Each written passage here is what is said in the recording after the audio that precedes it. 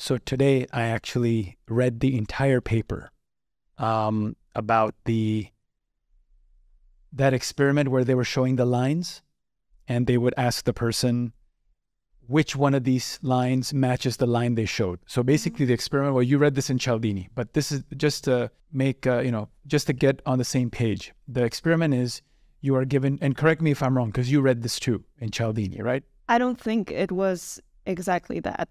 I mean, he mentioned something um, like along these lines, lines, but uh, he didn't mention specifically. So I think you have more knowledge about this. Got it. So basically, it's an experiment on authority. Do people stand by and are confident in their own belief system, or do they succumb to the majority? Or do they succumb to the authority, right? So in Cialdini, it's authority bias. No, actually, um, it was not mentioned in the authority Commitment? part. It was about the majority. Okay. Uh, it was about the society, how you want to Social fit proof. exactly how you want to fit into the society. You don't want to be even if you are sure you are correct about something. If the majority says no, actually the different thing is correct, you feel at risk when you express your opinion. Got it. So it wasn't about the authority in this Okay. particular one. Got it. So the book I'm reading right now, Sapolsky. I mean, the whole world knows now what I'm reading. So uh, Sapolsky, I talk about all the time, and in Behave, and uh, the ch- the chapter is on hierarchy, compliance, and uh, something else. That's the chapter, and and the chapter is specifically there's one section which talks about three experiments, the lines, the ones we're talking about right now, Stanford prison experiment, Yeah. and the shock experiment, right? And the shock, the electric shock. So what's the difference between the second and the third? Stanford prison didn't require any shocks. It was a bunch of prisoners and a bunch of guards. Uh, uh, we'll talk about that too. But basically, it's they took a bunch of students from Stanford, and they said, this half will be prisoners, and this half will be the guards, and you have to act like a prisoner, and you have to act like a guard during these. I think it was oh 14 day. It was a 14 day experiment. It was from the psychology department. What they did was they rented the basement of the psychology building and they had run they ran this experiment in the basement. So basically, and they did it very good, like very well. They had the police, the Stanford local police, go to the individual prisoners wherever they were at a cafe or at the house, usually at the house because they didn't want to be like, oh my God, they're getting arrested. So they would go to the person's house and they would arrest them, like, you know, put handcuffs and take them to for a deposition or whatever, uh, you know, read them the Miranda rights, you know, you have the right to remain silent, that whole thing. They took them to the police station. They, they you know, did a, a, a whatever it's called, like bookkeeping report, and then they took them to the basement of the, the Stanford building. And, well, we- I guess we can talk about it now. Then we'll get back to the lines because this is a very cool experiment, and they even have a documentary about it.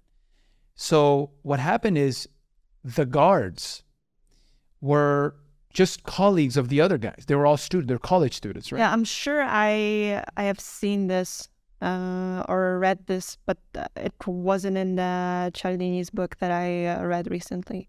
Got it. Got it. This one, no. The electric shock, yes, Got but it. this one, but I mean, yeah, you have to tell me because I'm not really sure. Yeah, basically what happened, and and uh, it, it's a very very detailed experiment, and I have I have the papers here that I'm gonna read this week. Is the next video I'm doing is on how humans are evil and how the capability of being evil. You know, we have the capacity.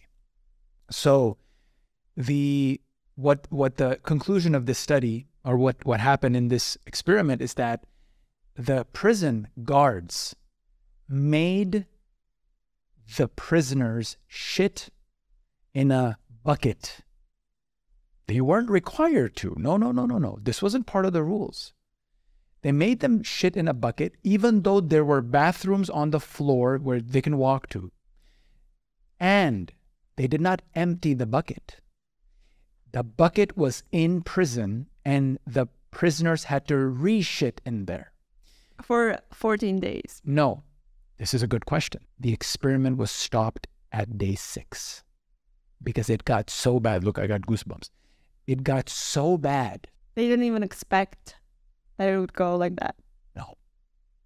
The extent to the evil nature of human beings was shown in the Stanford prison experiment. Because here's the thing the guards is one matter, but the prisoners, they could have stopped at any time.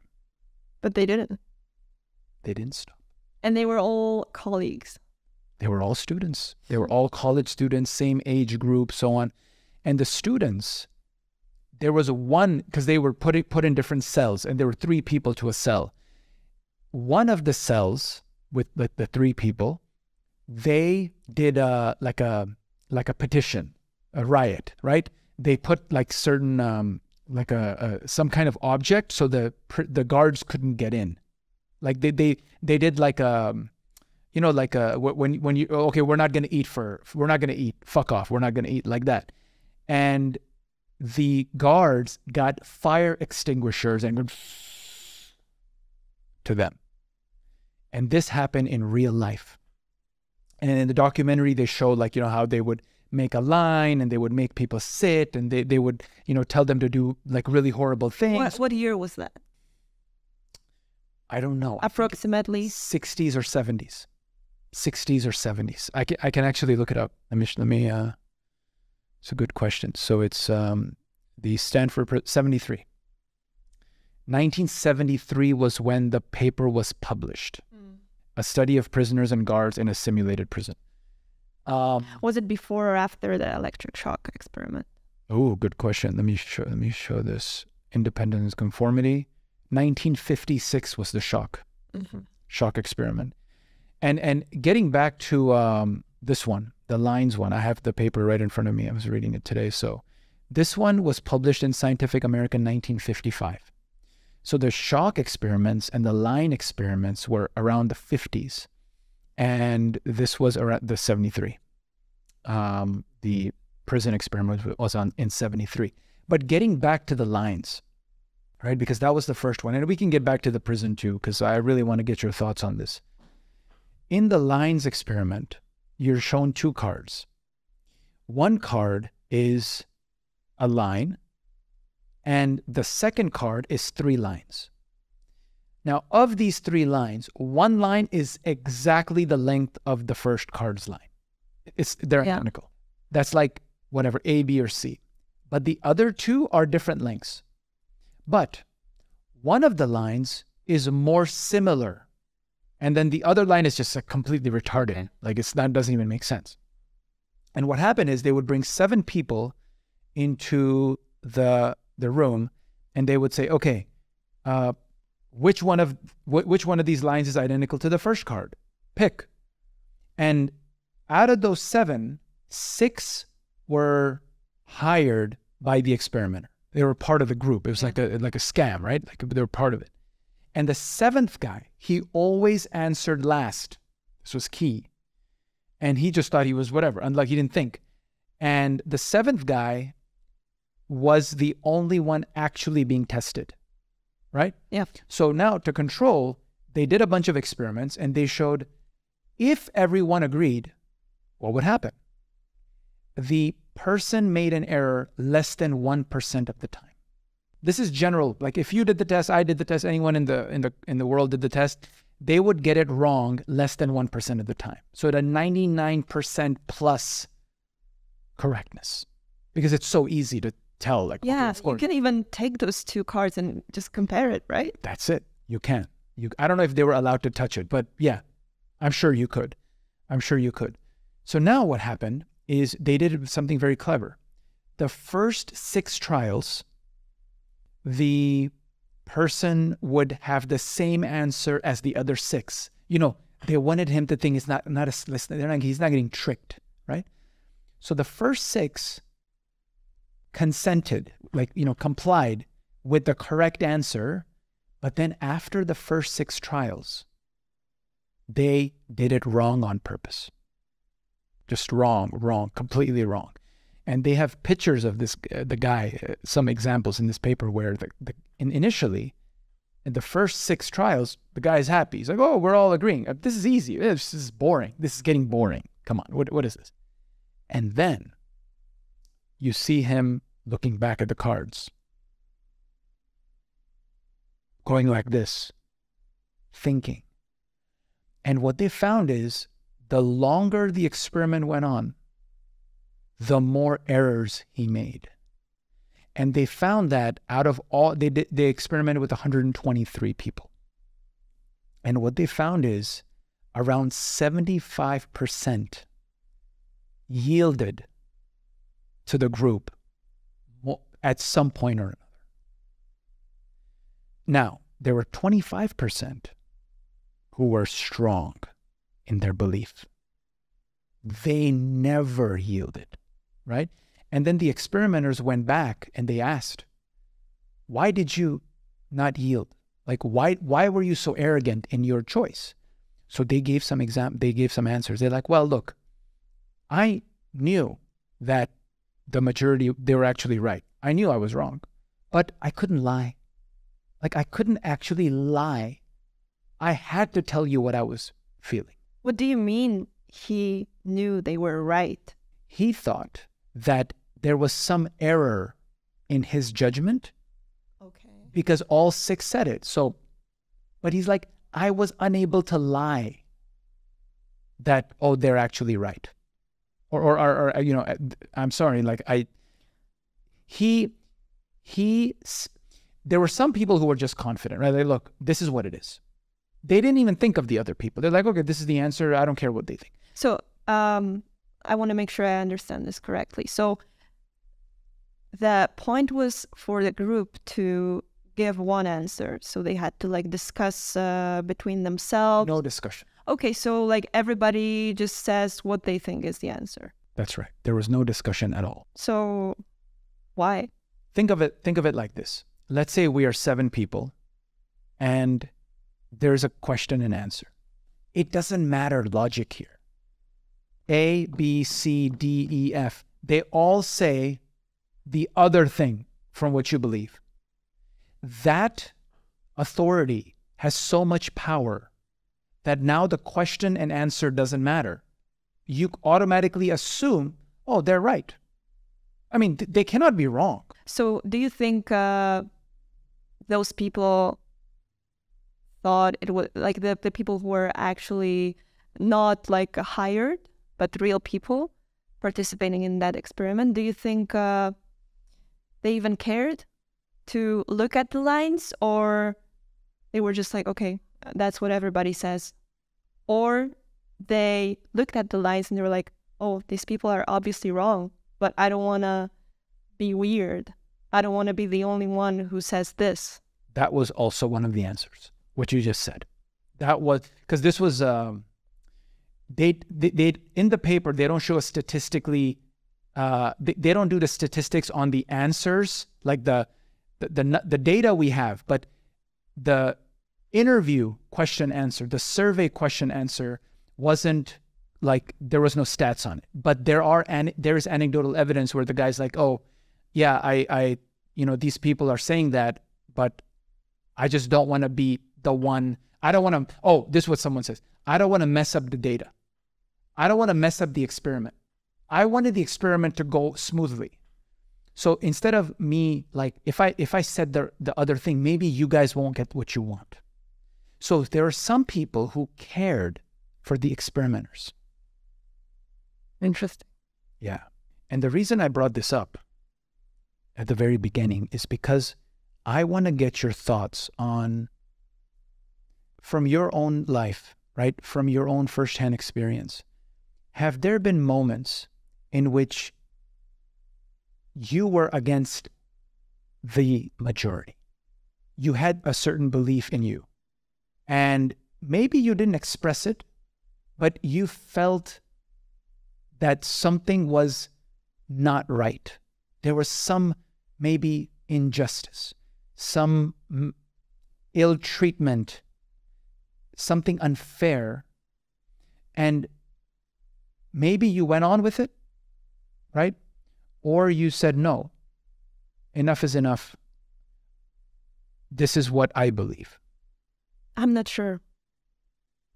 I don't really recall any particular moment in my life that would make me like think of what you just said. Let me put it another way. There are moments in our life where when we look back, we say, oh, oh shit. If I knew what I know today, when I was, when I used to be in that group, I would have said something. If there was an injustice going on, I would have spoke up and said, "Hey, why are you doing that? Why are you why are you treating her like that? Why are you treating me like that?" And specifically because I know one one thing I know for sure is I mean, you spent 5 years in vet school, right? Five and a half. Five and a half years in vet school. So finishing vet school and looking back during in that five and a half years are there any moments during that time in which if you know what if you knew what you know now today in who you are the amount of confidence you have the self-respect you have were there any inc- incidences where you would speak up and not take the situation for what it was. For sure, there are uh, moments like that, but uh, it's not so much about speaking up and acting in a certain way when I'm in a group, but more about what I was thinking at that time, what was going on, what was happening inside me, you know? Like, for example, I had so much fear in me at that time, which I don't have now. And uh, also, I was just unable to live in the present. And I was always stressing out, like, oh, I'm going to have this exam, or this is going to happen. And I was constantly thinking about what's going to happen. Am I going to pass this exam? Like, this is so stressful. And uh, I just couldn't stop and be in the moment. So it's not so much about how I'm acting towards people, but how I was treating myself. Okay. So you're not you're not looking at it from how they acted towards you. You're looking at it you're seeing it independently of how you react to situations. So you would have reacted differently. Yeah, I think I think so. If I could have the brain that I have right now, it, if I could have the feelings that I have right now, it would have been different for sure. But um, I don't really think about what was happening around me externally. It's more about the inside, way more about the inside. Got it. Sometimes the external environment turns on genes on the inside, right? Gene environment interaction. And in the lines study, what they showed is when there's a partner, right? So they injected a partner and they told the partner, do the right guess. He was also hired, but do the right guess. Don't don't be like the other five. So there uh, still seven people. Now five are doing the wrong uh, answer, and one is the the innocent guy, and now he has a partner. And guess what happened? So what did the partner say? The partner would choose the right answer. They wanted to see what would happen to confidence if you had someone like you. If he did the same answers as you, would you now be more confident? I think so. Yeah. Incredible results. With the partner there, the errors went to 25% of what they were. And I mean, obviously, there were still errors. He was, he, he was still like, he was still um, dissuaded by the, the majority. he was still like influenced by the majority. But he was way more confident. Yeah. Way more. Yeah. Only 25% errors. Now, what they did was they had the guy for the first few trials, like six trials, right? Again, six trials. He would answer with the, the innocent guy, and then he went to the majority. The partner. They, So- they fucked like that. So what happened? He became he had the errors again. just like normal. So having the partner with you is great until he leaves. Then you're back to where you were. See? And then they did another study. They had the partner stay for six times, and then he wouldn't go to the majority. He got called by the dean, you know, so he had to leave. He wasn't even part of the group anymore. Then guess what happened? I guess the guy was still confident in his answer He was not as confident as the partner was still there, but Yeah. he was way more. and didn't change his mind. So having a partner is great until he changes to the other side. Mm. This is huge. This is a huge thing. And so in your life, you know, you mentioned that it's like how you react to your own environment inside. Can you give examples of, if any, where having someone that believed the same thing you believe, at least one person, we can start with vet school, right? If you had a certain belief, you, you, you believed in a certain thing, or you wanted to study for a test, or you, you know, you, you wanted to not party that night, or whatever it was, right? Were there any accountability partners or any any of those friends who helped your family that was like that was your anchor to have that confidence? I don't think so. I mean, I, no, that doesn't resonate with me at all. Yeah. Like I, I can just think about anything. Yeah. So that so that means there because from from the majority of people in the world, from what I see, and and this Lines experiment, the Stanford prison experiment, and the shock experiment, they basically tell us about how hard it is to stand by your ground, right? S- stand your ground because the tribe that we live in, we want the tribe to flourish. We want the tribe to be happy. We want the betterment of the collective. And even when we really, really believe something, we don't stand by it. We just give mm-hmm. in. And this is this is something very interesting because you know I've seen transformations in you firsthand, right? And a lot of those transformations is it makes me very happy. It it it gives me a lot of pleasure to see that oh, a person can literally change their brain wiring through repetition, through following a step by step, but doing it as a habit.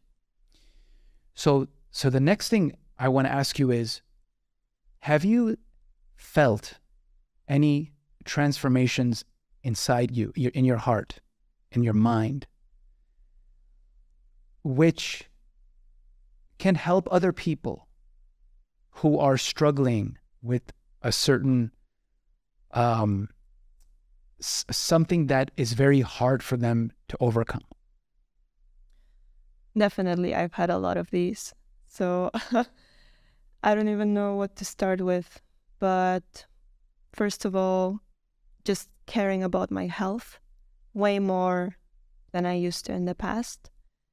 I feel like this is the biggest thing because without our health, we don't have anything else, right? So making this my number one priority and uh, basically just not caring about anything else, just making sure I'm okay making sure I'm fine. And then I can maybe focus on other things. So this was probably the biggest transformation in my life. What sacrifices have you? Maybe they're not, maybe sacrifice is not the right word, but what, what have you, what does a person, or you in this case, must give up in order to get on a, on the right track of being healthy? Are there certain major um, belief systems or substances or any day to day thought processes that need to be set aside? Yeah. First of all, I would say sleep, uh, establishing a healthy sleeping habit. Probably top one thing that I did that benefited me. Um, another thing is a healthy diet uh, because I used to not even look at the ingredients of uh, the food I was eating. And uh, when I used to work a lot, I didn't even have time to cook. And I just uh, ordered anything on Uber Eats, or uh, when I was already living in Tulum, I just went to a random restaurant and uh, I never cared what was in there. If it's like carbs, if it's protein, if it's uh, you know whatever. I just wanted to satisfy my hunger, and uh, that's it, right? So just becoming conscious about what you put in your body and that it matters and that it affects your entire life. That's a huge change um, I would also say social media is one of the things that I am currently struggling with, and um, I I don't have it figured out yet. I would say, but um, I'm doing my best every day to use it less and less. Yeah. I would say these three are probably the most important things. And also uh, addictions, right? Which social media is also an addiction. Um, unhealthy eating habits also might be considered addictions if you're, for example, eating a lot of uh, sugar and sweets. So, yeah, that's it. One activity that I know very well that you love to do and do a lot is read Stoicism. And uh, and and you told me earlier it's you know you, you kind of touched Stoicism back in in high school and they um, I mean I'm so happy that in Poland they actually have this type of uh, subject in the curriculum because in America Canada there's no way. Yeah, I think it was like I don't know um, a few weeks uh, we did that, which was really awesome and. Uh, I didn't pay that much attention to that, but still I remembered that. I remember what exactly we studied, and uh, but now it has a tremendous impact on me compared to what it was like before. Yes, someone because when I first um, touched Stoic philosophy, I was also like, wow. This Obstacle is the Way is my favorite book of all time. It changed my entire life. Just reading that one book just changed the entire course of my life. When I uh, I listened to it, I think last year, around this time last year, and um, I didn't feel like it's a life changing book. Maybe because I was already familiar with these concepts, right? Because when you read that first time, you weren't really familiar with uh, Stoic philosophy, right? Not at all. Okay, I knew nothing. That's fine. I knew nothing about it. Like Seneca, Marcus Aurelius, Epictetus, like I had no idea. And Ryan Holiday is the one who, I mean, that's all I knew. Right. So he would mention Seneca and Marcus Aurelius, and eventually I would read those guys too. But for me, it was just getting a recommendation to read Obstacle is the Way, and then I read it. And also, you know, there's this concept of reading a book with an intention, right? I read Obstacle is the Way as in a very intentional way. Like I was hungry for an answer mm. because I read the, the the title "Obstacle is the Way," and I'm like, damn, I have a lot of obstacles.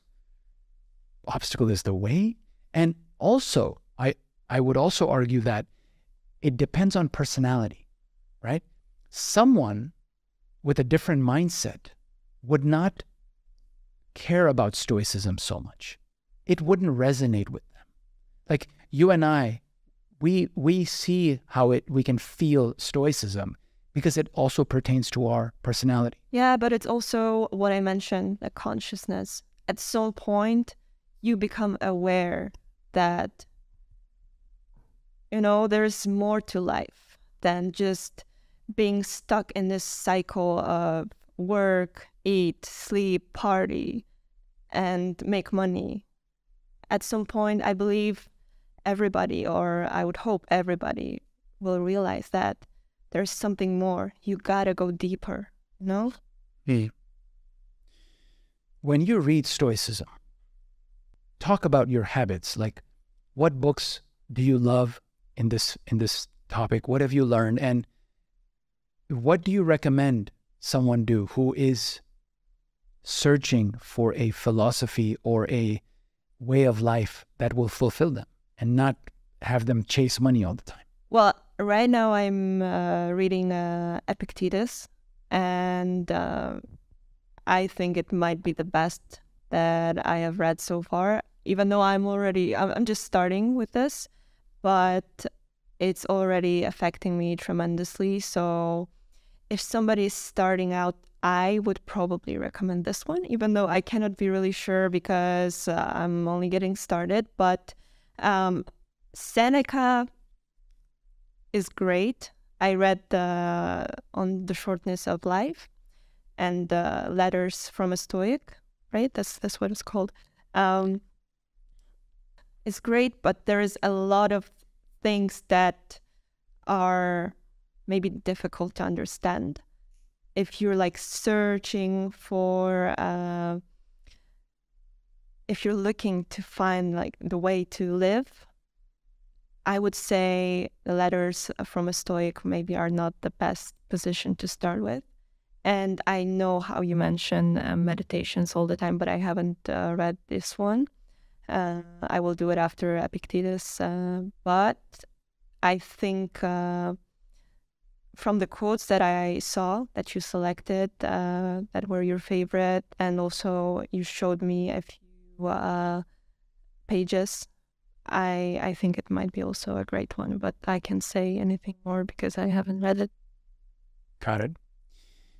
In terms of habits, right? We go back to habits here. One thing I've learned is having a ritual every day is very beneficial to being having a free life you know, living a life full of freedom. And it's like discipline is freedom. This is one of those things. So I know that you love to keep a schedule and you are gung ho about scheduling, right? I know there's, of course, there's flexibility and all that, but some one thing I see you do every day is you're scheduling. You know, you're writing down this time, this time. And from what you taught me when we were in Merida, I was also scheduling. You know, I would write it on the whiteboard every day, yeah. scheduling. And I scheduled for a couple of months and then I stopped scheduling, right? I don't schedule now. So the conclusion I've come to is uh, if you do the same thing every single day, then there is no schedule because it's the same thing, right? So now I feel like I have the type of rituals every day which are exactly the same, and I don't need to schedule. A little bit maybe would help, but I'm not doing it. Why? Because the personality that I feel I have is not someone who schedules, mm. right? It's like uh, it just feels weird to me. And I tried it for those two months. I tried it like very, very steadfast. So talk about this. Like, does the scheduling really help you? How do you organize that? Um, do you do like to do lists or checklists? So I used to do to do lists a lot when I was studying, when I was working. Uh, I started with the to do lists, but then it naturally evolved to adding the time slots to this uh, to-do list um, only for the things for work I needed to do or whatever I needed to study for uh, in my vet school.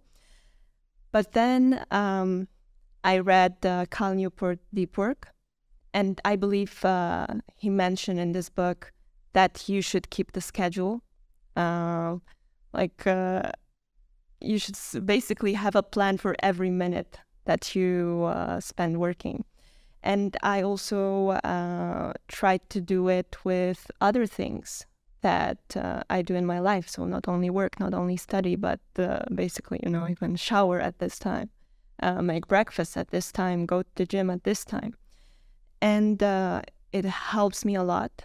It helps me to be disciplined, which I have this kind of personality that it's easy for me to get distracted if I don't, if I am not strict with myself. So I just want to treat myself like this little kid that I have to take care of. And it's like uh, my higher self is uh, like organizing the curriculum for my lower self because I know like the, the lower self, it can make mistakes. It can like uh, just go on Instagram and spend an hour doing like uh, stuff that don't really matter, right?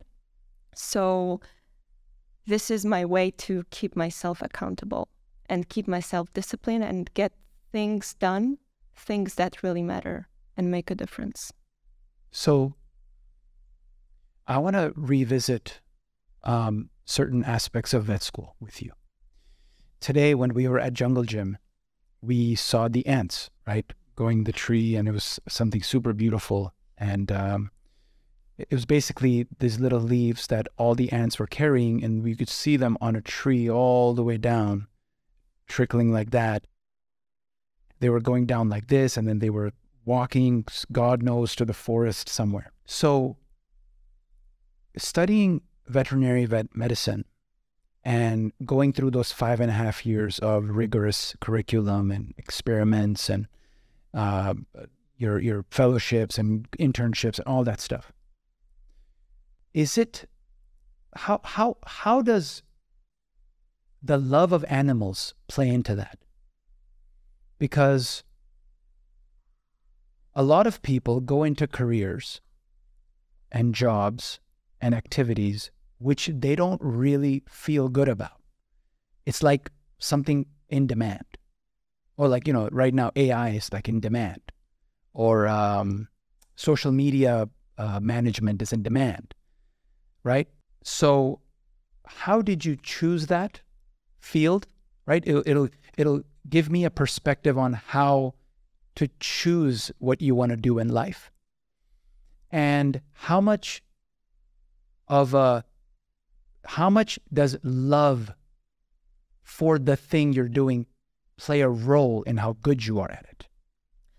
Well, ever since I can remember, I was always very interested in animals, just like the ants we saw today. I was always looking at the insects, at like uh, small animals, uh, dogs, cats, uh, and uh, then uh, we started uh, to actually we started professional uh, dog breeding um, with my parents. So I was going to dog shows with my dogs, and I was like uh, learning how to, uh, you know, showcase showcase the dogs. And uh, naturally, this kind of interest it evolved into veterinary medicine because I knew that I want to work with animals. I want to be with animals. It gives me joy, and uh, when we were having puppies or you know we had like four five six dogs uh, as a family. So we would go to a veterinarian quite often. So me seeing that it was a huge inspiration. And uh, basically when i turned i think 13 14 years old i already knew what i wanted to do which i don't think was the right choice after all because after knowing what I already know, I feel like I would fit more into the field of like ethology and uh, animal behavior rather than uh, medicine. Because I am more fascinated by how animals behave and how we can interact with them um, if we can, rather than treating sick animals and like using medicine. You know what I mean? So um, I feel like many, many people go study veterinary medicine because they love animals, but then during the course of uh, the study, you realize that this is not actually uh, what really matters in that profession because you need to have like certain personality type to be a good doctor, uh, as with a normal medical doctor, right? So I feel like I've realized uh, I don't really have what it takes, and uh, I didn't really have a desire to be a vet, you know. So even though I love animals and I am really fascinated by them even today, I don't think this is the right path for me. And uh, I feel like many people realize that. Like uh, the love for animals is not is not that, you know? You need to have something else. So that's something else. Let's compare a doctor with an ethologist, right? So a, a vet medicine doctor practicing, curing sick animals in the clinic, versus someone like a Sapolsky who yeah. studies primates or you know there's many primatologists like Frans de Waal is one of them studying chimps. What personality type would be more fit for a medicine doctor? And what personality type would be more fit to someone who studies behavior? Well uh, first thing I can think about is if you want to be a doctor, you need to be proactive. You need to want to take action because you want to cure a sick animal, right? You want to treat animals, so you gotta take action. And if you are an ethologist, I would imagine because I'm I'm not an ethologist, but I would imagine that you need to enjoy observing and uh, drawing conclusions from your observations and not necessarily uh, interacting with the animals and uh, like doing something to them, like curing them, doing experiments. I would say it's more about paying attention and uh, drawing conclusions from what you are seeing. How much of a parallel can you draw with talking and listening? So, for example, some people love to listen right? Like listening to a podcast. People can listen for hours. Yeah. Whereas other people can listen. They need to talk. So you for sure you've noticed you'll be talking to someone and you can see in their face that they want to say something. Yeah. And they have no idea what you're talking about. Exactly. Because they're already uh, processing what they're going to say. Yeah. I think it happens to all of us. It does. Is that a good parallel? So, for example, someone who's an ethologist, an observer, and you probably don't even want to interact with the animals because you can mess something up. Exactly. So you just sit there and you watch and you write like um, uh, what's what's her name the the the Jane Goodall, Jane Goodall. She has a master class. I watched her master class. She's the very world famous um, lady who did. She went to Africa and she studied, um, I think it's chimpanzees or one of the. Oh yeah, I think I know the one you mentioned to me, the the crazy lady. Yeah, I mean she's amazing. She's so nice. She's so, um, but yeah, she's definitely crazy, uh, in a good way. So someone who does that versus someone who is writing prescriptions. Could you draw that parallel, a talker and a listener? To vet, vet uh, doctor and uh, ethologist, I wouldn't say that because when you're a doctor, you also need to listen very well. And uh, what are they? Yeah, they have to. They ha- if they if you want to be a good doctor. I mean, like psychiatrists nowadays. I mean, we we know this. I mean, I talked to my uh, what is he? My cousin It was a, a Sarah's um, Sarah's like uncle somehow. So mine like in-law Mm. uncle. He's a psychiatrist in America, and he told me that they are there is a limit of one hour of them seeing a patient. That's the maximum. They are not allowed. So in today's system, there is a list of prescriptions that are given, right? Like you know what happened when my dad went to the doctor and he's like, "Don't come back unless you're gonna do knee surgery, or you're gonna do steroid injections, or you're gonna do PRP injections. Like, do not come back to me." So are doctors really listening? Um, hard for me to say about the regular medicine doctors, but uh, as far as I know, in Poland, uh, veterinarians um, they do listen and they uh, examine the animals. So I would say it's quite different than uh, the case you brought up with the psychiatrist. So you cannot draw that parallel. I wouldn't say that. Yeah, I'm still trying to get this because when I was in pre med, destined to go towards the doctor field, and then I decided to not do that. You know, I did computer science and PhD and all that. Now that I look back and I see someone like my dad, who's a, who's a medical doctor, who was a medical doctor, now he's retired, or I look at other people who are doctors, like Dr. Araujo, who we went to, right? Or Dr. Ortiz, like, you know, people who we know are doctors practicing or have practiced for the last, you know, 40 years. I see a personality of a doctor. And I want to know what you what do you see? Like what traits because this is at, this is very important because there are certain traits which you would have which would make you bad at X or Y or Z. So what traits would make you a bad vet medicine doctor? I would say if you want to be a good doctor, you have to you need to know how to think logically, how to like connect the dots, you know?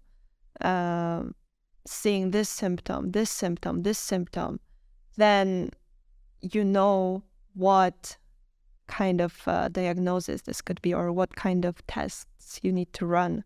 Just uh, quick judgment, you know? So a person who does not have that would be a bad doctor. That's what I would say. Maybe pattern recognition. That's that's it. that's that's what I was looking for. Pattern Exactly. recognition. Got it. You got it. Got it. So, because in today's society, there are certain careers which are in demand. And then there's others, other careers which those people starve because they are in the career, right? So, simple example someone who studies art, someone who's a musician, lots of those careers are, you know, people are broke, they're living paycheck to paycheck, they have many, many jobs they're working at, you know, they're, they're working at Starbucks or whatever just to get by and do their art. Then there's the other side of hard careers, right? Hard, like not hard, like difficult, but like phys- something tangible, something like I'm a doctor, I'm a, I'm a pharmacist, right? I'm a lawyer. You're doing something that is tangible, right? Yeah. What type of personality would be fit for either of those two? Do you- so what I'm trying to say, what I'm trying to ask is, could a good doctor also be a good musician? Like, could a good athlete also be a good lawyer? Like, are there certain are, because because one thing is people. It would be so great if everyone was able to live their gift in life. Yeah, actually, now that you mentioned that, I would say that it all comes down to doing something you enjoy, actually. Not even like if you have a talent, because, for example, I'm good at studying. Uh, and I would imagine I could be a great vet because of that. But if I actually did that. Well, by the way, I still can because uh, I uh, I have the license to perform it in Poland. Um, but if I decided to do it at at any point, maybe in the future I could. But at, if I decided to do it right now, I would not be truly happy doing that. So that wouldn't make me necessarily a good doctor at this moment. But I would say if you're a good doctor, you can be a good musician. If you're enjoying it, why not? And uh, I would say you can change your career to anything at any point in your life as long as you're capable of that. I would say there there's nothing that can stop you. What about when you want to do something and it's not practical? So, for example, there are people love music. They love to perform. They love to play the guitar. But they still need to survive. They still need to eat. They have to pay rent. Maybe they have a family to support. Sometimes what you love to do, it is not possible to do that. Right, right. But uh, you just can't have it all, ever. So look at your life and decide what kind of sacrifice you want and you are able to make. That's what I would say. And everybody's situation will be different. Like uh, the the fact that I am able to do what I like doesn't mean that someone else will be able to do it because they may not be in such a position, such a you know, will not have the good circumstances to do that. So always look at the situation and then decide what kind of sacrifice you could make. Voluntary sacrifice. Exactly. So, you know, um, I imagine if you have a family to feed, it's not so easy, right? But there is always a way. So you you come from the principle of don't make excuses, find a way. Exactly. So let's talk about how you found a way. When you were in Poland, you had an opportunity to leave. When you were in Bydgoszcz, you had the opportunity to leave. A lot of people have opportunities. They take it, but most don't take it, right? Most stay where they are and they want to sort of be comfortable. Tell me about your journey because it was the first time you came to this part of the world, this the Western Mexico, U.S. part of the world. How was it at that time? Describe that first moment you got the opportunity and the question that, hey, Martha, will you go and leave your family behind? Well, I was sure I would do that because at that point in my life, I really wanted to explore. Simple as that. Like I was not satisfied with uh, what I had at that time, and I had this kind of hunger to discover the world. You know, so I never had any issue with uh, leaving my family behind because I know they're always with me in my heart, and uh, we stay in touch all the time. So I just felt like if I didn't take this opportunity, I would just be limiting myself and I would never know what awaits me on the other side, right? So, yeah, I never had any doubt. And I was just happy that I had the opportunity to do that. What if you didn't get the opportunity? Then you wouldn't come here? I'm sure I would do something to go somewhere, you know, like uh, I would be very proactive uh, in searching for this type of opportunities because I just wouldn't be able to keep doing what I'm doing uh, if I'm not truly happy with it. And that could involve living in a place. Exactly. Let's talk about the role of coincidence, synchronicity, right? Sometimes we get the thought that, hey, the world is against me. I can't take the next step. I don't have any opportunities.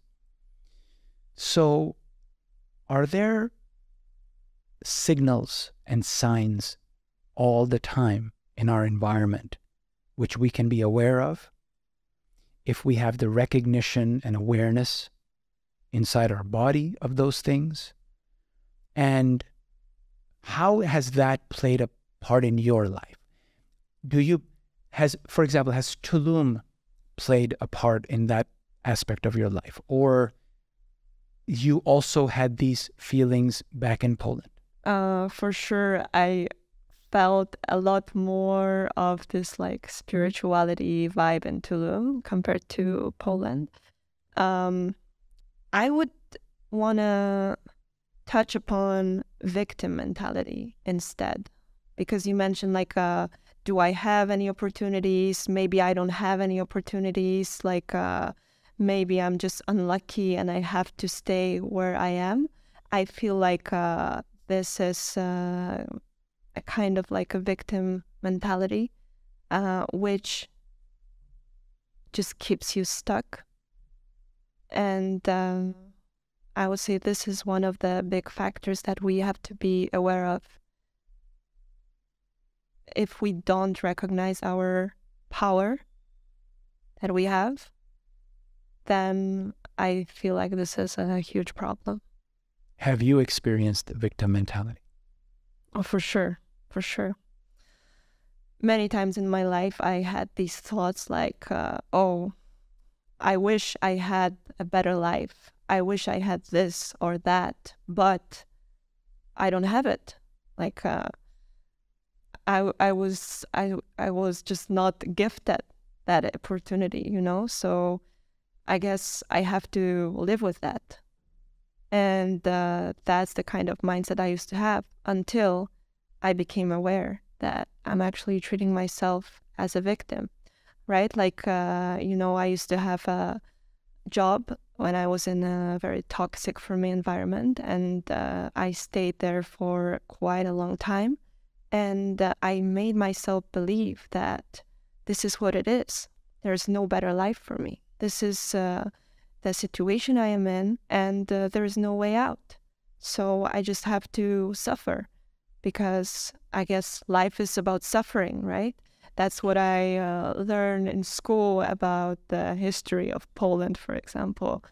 Like, uh, life is suffering, deal with it. Until I realized that I don't have to be in a situation that is toxic for me. I can get out of that. And I am the only person limiting myself. And I am the only one in control of my destiny. And anything else is just excuse. Because maybe we get too comfortable when we are in a certain situation. It's too familiar, even if it's bad, even if we feel that it kills us. That's the thing we know. That's the thing that feels comfortable. So it's hard to make a decision to change it.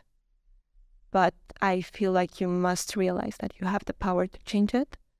And once you make a decision, it can only get better. Yeah, you know, this taking going back to the lines experiment. When the people, you know, the guy who was the innocent one, the one they were asking,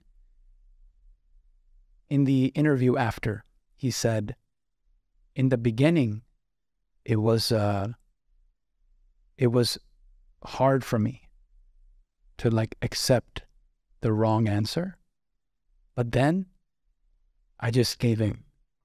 Like I, I couldn't help it, and he's like, I was so tortured, but I became tolerant of the torture. I was just, I became immune to the torture. And this reminds me of what you said the suffering there's a threshold of suffering. And when we pass that threshold, now the threshold becomes higher. So now suffering is the norm. And now you're just suffering every day. Yeah. And because you maybe forgot how it was to be two years old when you were, you know, like Zach or three years old like Zach, suffering doesn't doesn't mean anything. It's like suffering's like, oh my God, my sister took away my toy. And then you're good again in like five seconds. Now there is a chronic suffering that people suffer from. And I saw this firsthand in you, right? I, I saw it, I felt it with you. And getting out of a situation like that, if you're not aware you're in the situation, then how can you get out? Right. And also, there are many other factors that we might not even understand. Because for me, even uh, going back to vet school for the five and a half years, and even in high school, it was a very stressful uh, environment for me, stress inducing environment. And uh, I can imagine my cortisol levels were like up to the roof because I was constantly stressed out. And only now I am realizing that I was the person causing that. I was the one uh, choosing to react that way. I didn't have to do that. So, even going back to the very first question that you asked me about the external environment, even if those people, like the teachers, even if they were rude, it's up to me how I will react, right? But I was just, uh, I guess, very not aware of the power that I had. So maybe there are some traumas from the past, right? Maybe we get used to certain type of treatment or certain type of uh, reaction that we have, and we think this is the norm, and we might not see like, oh, there is uh, actually something else that we could do. Getting out of that awareness, though. If you're aware that you're suffering, and that is now your life, and it was your parents' life, and it was your grandparents' life. What separates someone who has hope and can get away from an environment like that versus someone who stays? Is there something that separates those two? Yeah, I would say the people who are close to you. Because if you see somebody close to you living an awesome, stress free life, you're like, okay, I guess this kind of life is possible, right? So I had this with you because uh, I decided to change my life, uh, get out of the toxic environment um, shortly after I met you. And uh, that was a huge, huge influence because I could witness you just being happy, enjoying life, and having that almost first-hand experience made me feel like, oh, I could be like that too. So there is a difference from people who are not so close to you and you think they have perfect lives versus a person who is very close to you and you see this from a very close perspective. Uh, this is possible. You can live a happy life. You can live a stress free life. You don't need to suffer. I would say this is maybe the biggest factor, at least in my experience. Seeing it firsthand. Yep. At least, even if it's one person yeah, and same thing. For example, my sister is right now in uh. South Korea. She flew there uh, on her own, and uh, I know her because uh, I also have this kind of uh, personality, or I used to have it. Like you are just uh, too stressed, and many people would be stressed to travel solo to go to a foreign country for a few months, right? But my sister did it, and I would hope that she saw me doing that first, going by myself to Mexico. And then she was like, well, if she can do it, I can do it too. So I don't know if that was uh, the reason or uh, if it had an impact on her, but maybe subconsciously. Who knows, right? So sometimes our own actions can have a big impact on other people. For sure. Yeah. Tell me about your habits nowadays, because um, all this the transformation, the health transformation, um, being in a different environment, coming from, you know, coming here from Poland and being in Tulum, and for sure the environment is going to interact with your genes a certain way, turn something on, so, turn something off, make you feel a different way. Are there habits day to day that you, if you don't do it, you feel that something is missing? Well, uh, first of all, I try not to have something like that because I don't want to be dependent on anything. So if anything is taken away from me, it's uh, again the Stoic philosophy here. But uh, if anything is taken away from me, I want to be okay with that. So I want to like stress this out that there, I hope, I believe, there is nothing in my life that is like, oh, I have to do it. Otherwise, I'm like, uh, I'm not gonna uh, be fully living. Like for some people, you know, they say like, oh, I uh, need to have my coffee, or I need to go to the gym because uh, otherwise uh, I feel like shit. Although I would say if I don't go to the gym nowadays, I feel like uh, there are some emotions that I need to express. So this is definitely uh, something that is helping me out. But again, I don't want to ever be dependent on anything like that. So, um, but yeah, anyway, I keep my discipline as we already discussed and I try to have uh, pretty much the same schedule every day and also on the weekends. So uh, just same same uh, time. Uh, I mean, have food at exactly the same time every day, pretty much. Uh, that's one thing. I don't know if you would consider that a habit or not uh, going to the gym around the same time. Then when we are at the gym doing the cold plunge, uh, this is a habit for I don't I don't know like about two months for me now.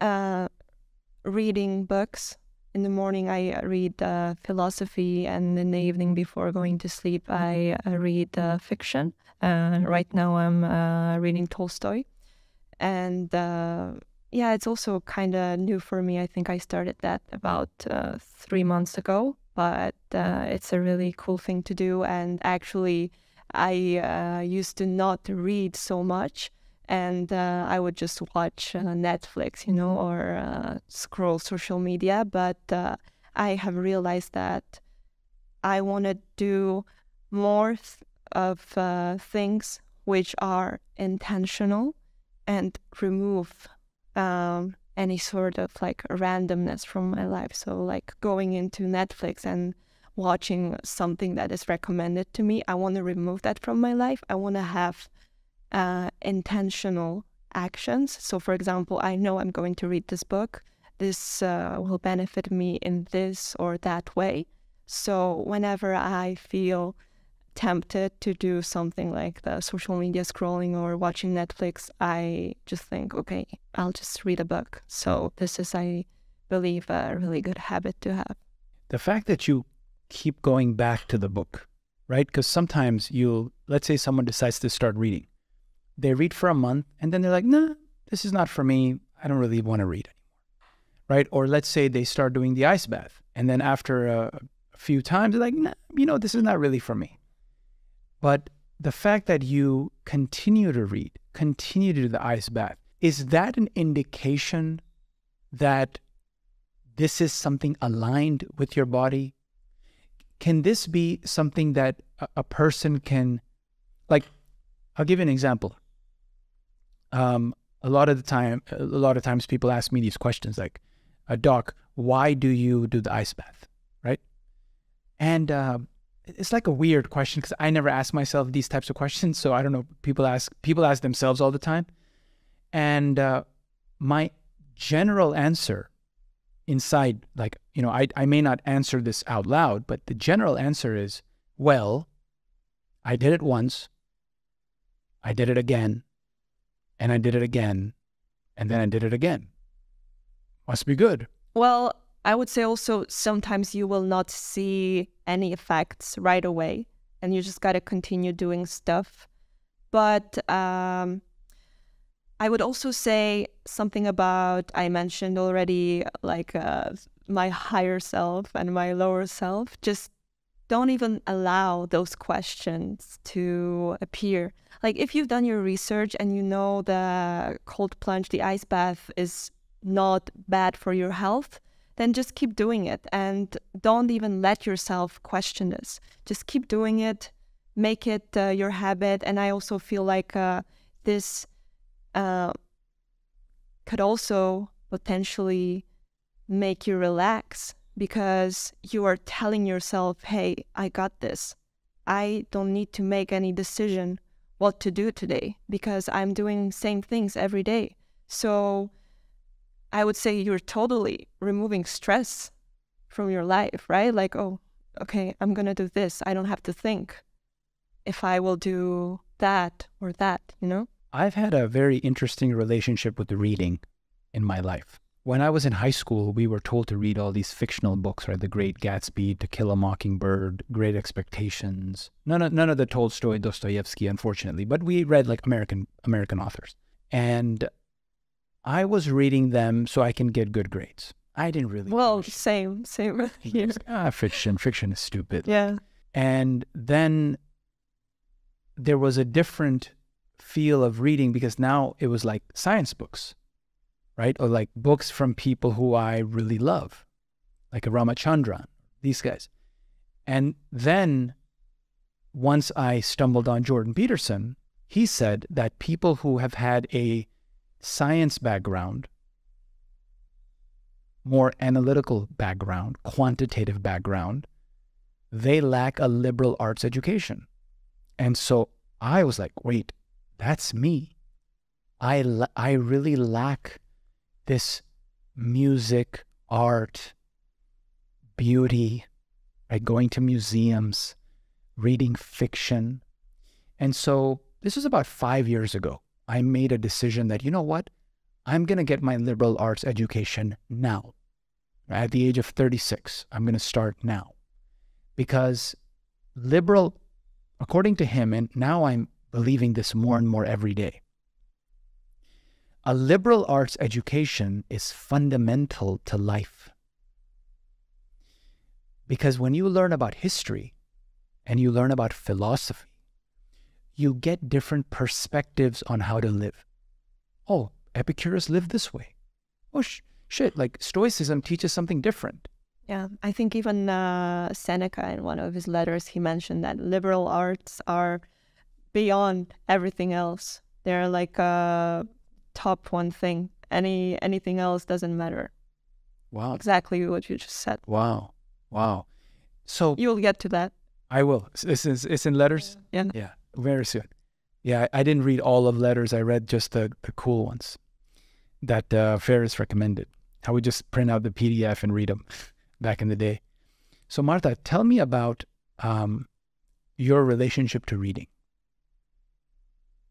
now that you're reading Stoic philosophy and Tolstoy, and I know your mom is big into reading as well, and she's read like all the books that we want to read that are on the shelf right now, and she's read everything. So, growing up and with the influence of your mom and having that intellectual, bookish person in the house with the bookshelf and, you know, was seeing that as, as, a, as, a, as child, you didn't really like those genes didn't get turned on very early, did they? True. Um, I would say maybe early, like in the elementary school, I did read a lot. Also, the uh, internet was not really there. I think uh, we got internet when I was like maybe eight years old. So before that, I was reading. And also, when we already had a computer, I was also reading quite a lot. But then uh, the internet started growing and you know netflix and tv everything else uh, it was a easier sort of uh, easier to access entertainment so i kind of strayed away from the books and then when i went to high school i was forced to read particular books for school then when I went to vet school, I didn't really have time to read for uh, pleasure, even though I did a little bit. Uh, I still remember I was getting books from my mom. She she's got tons and tons of books. Um, but then when I started working, I did not have time at all. And uh, I only had time for uh, audiobooks whenever I was like, you know, cleaning my apartment or uh, running some sorts of uh, errands, I could listen. And uh, only now that again I have time to just sit down and read. Uh, as you said, those genes got turned on, right? And uh, also the moment when you brought the first uh, books uh, to us after uh, visiting your parents, uh, it was like a huge, huge moment when I was like, oh shit, we have those real books, we can touch them and we can feel them, and it's just incredible, right? So I felt that magic. And uh, also seeing you read inspired me as well. So, uh, yeah. And then I realized that actually all the things that I'm doing, which are pretty random and not really important, can be removed. And instead of doing that, again, an example scrolling social media or uh, watching Netflix, this can be removed and replaced by reading books which have value for me. So, yeah, for example, I uh, removed my Facebook app. I am uh, limiting Instagram to minimum. Uh, and recently I realized that, well, I don't really even want to watch Netflix. So, yeah, I feel like uh, it's a really breath of fresh air when I can just uh, take a book and be with it. Yeah, I will tell you one thing. I was pleasantly surprised when I saw your face when I brought those books in. Yeah. Because I know I feel love for the books. Like I'm I'm like g- giddy about them. I like like a kid like oh my god. You know, my mom gave me the gift card for Barnes and Noble. He, she's like, "Here, go buy whatever." Uh, I love. I always loved bookstores. My God, and s- seeing that when I brought those books, seeing your eyes as we were like unpacking the books, one by one. When we get a new book in, you yeah, come. anytime a book comes, I'm so excited. And then you go put it on the shelf, right? That ritual. Let's go back to the physical aspect of things. If we look at technology, right? We look at progress in the world. Is it technology taking us away from physical and into virtual? So, for example, before there were people talking to each other. Socrates, right? He never wrote anything. He refused to write. He's like, it's, that's like going to make my memory worse. I'm not going to write. I want to remember everything. So that was very intimate. It was physical. The people were standing around. Then we figured out how to write, you know, paper and, and you know, the papyrus and shit. They were writing on that stuff. Now we have audiobooks. God knows what's going to happen in the future. What is your, because you read so many physical and audiobooks. So is, are, are we bastardizing the book culture by listening to audiobooks or, or giving a shit about audiobooks?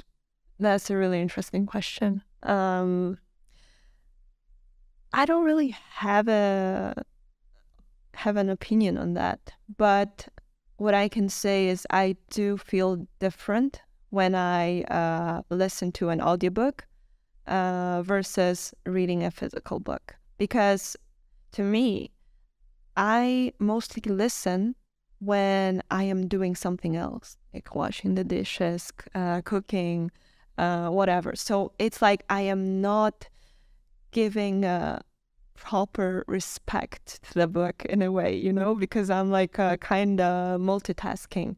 So uh, whereas when I just read a physical book, I'm forced to just be with it, do nothing else.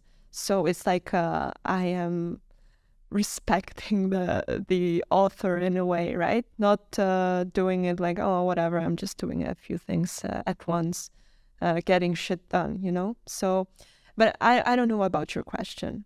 It's hard for me to say, but there is a difference in uh, in how I feel.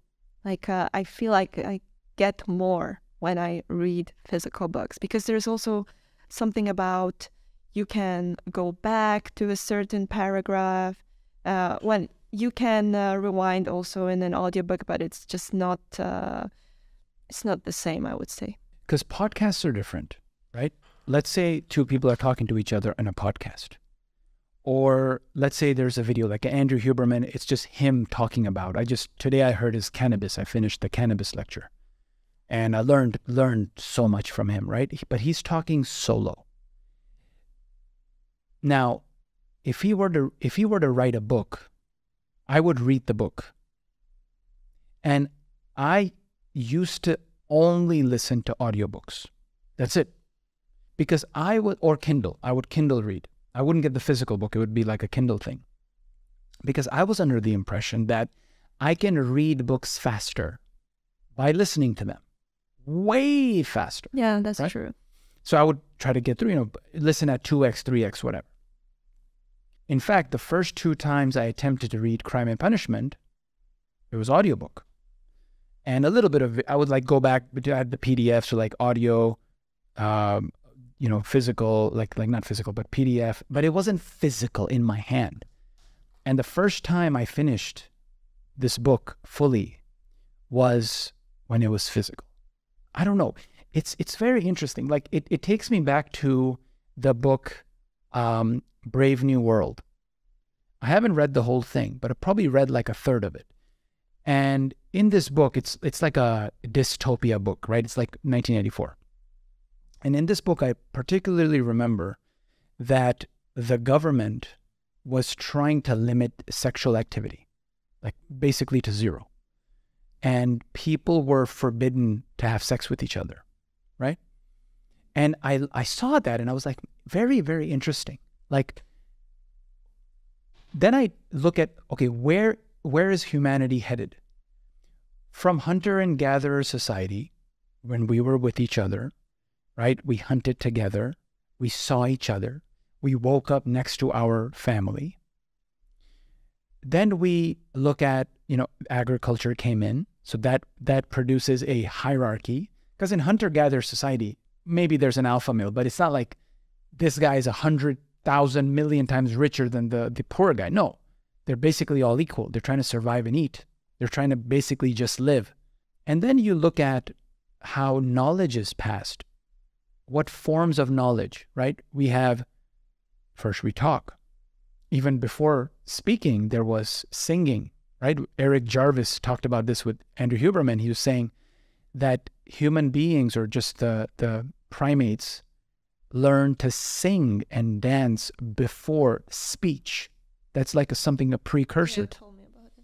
very, very interesting. So we have even more primitive structures where we can feel language, right? They, there's a Stanford experiment which showed that 93% of communication is nonverbal, right? It's like Yep. how the person moves their hand, how they're looking at you. Are they asking a question or are they making a statement, right? There's all these nuances to tonality. So I feel that there is a tendency where how the Homo sapien is using technology, we are moving towards something that is away from deep communication, deep contact, human to human. That love, that association, that feeling of intimacy is slowly going away. That's exactly right. I have the same feeling. So how could we do that? How could the is that good for our survival? Is this because I always, you know, there's this philosophy that says everything natural is good. There's there's a philosophy like, oh, it's natural, it must be good. And that takes into account that what is natural is good for nature. But when we killed the Neanderthals, whatever, however many million or hundreds of thousands of years ago, the nature of Neanderthal was different from us, right? I, I read this in the book Sapiens. Basically, what happened, according to Yuval No- Noah Harari, the author, Homo sapien have the ability to tell stories that are fictional and they are believed by a vast number of people.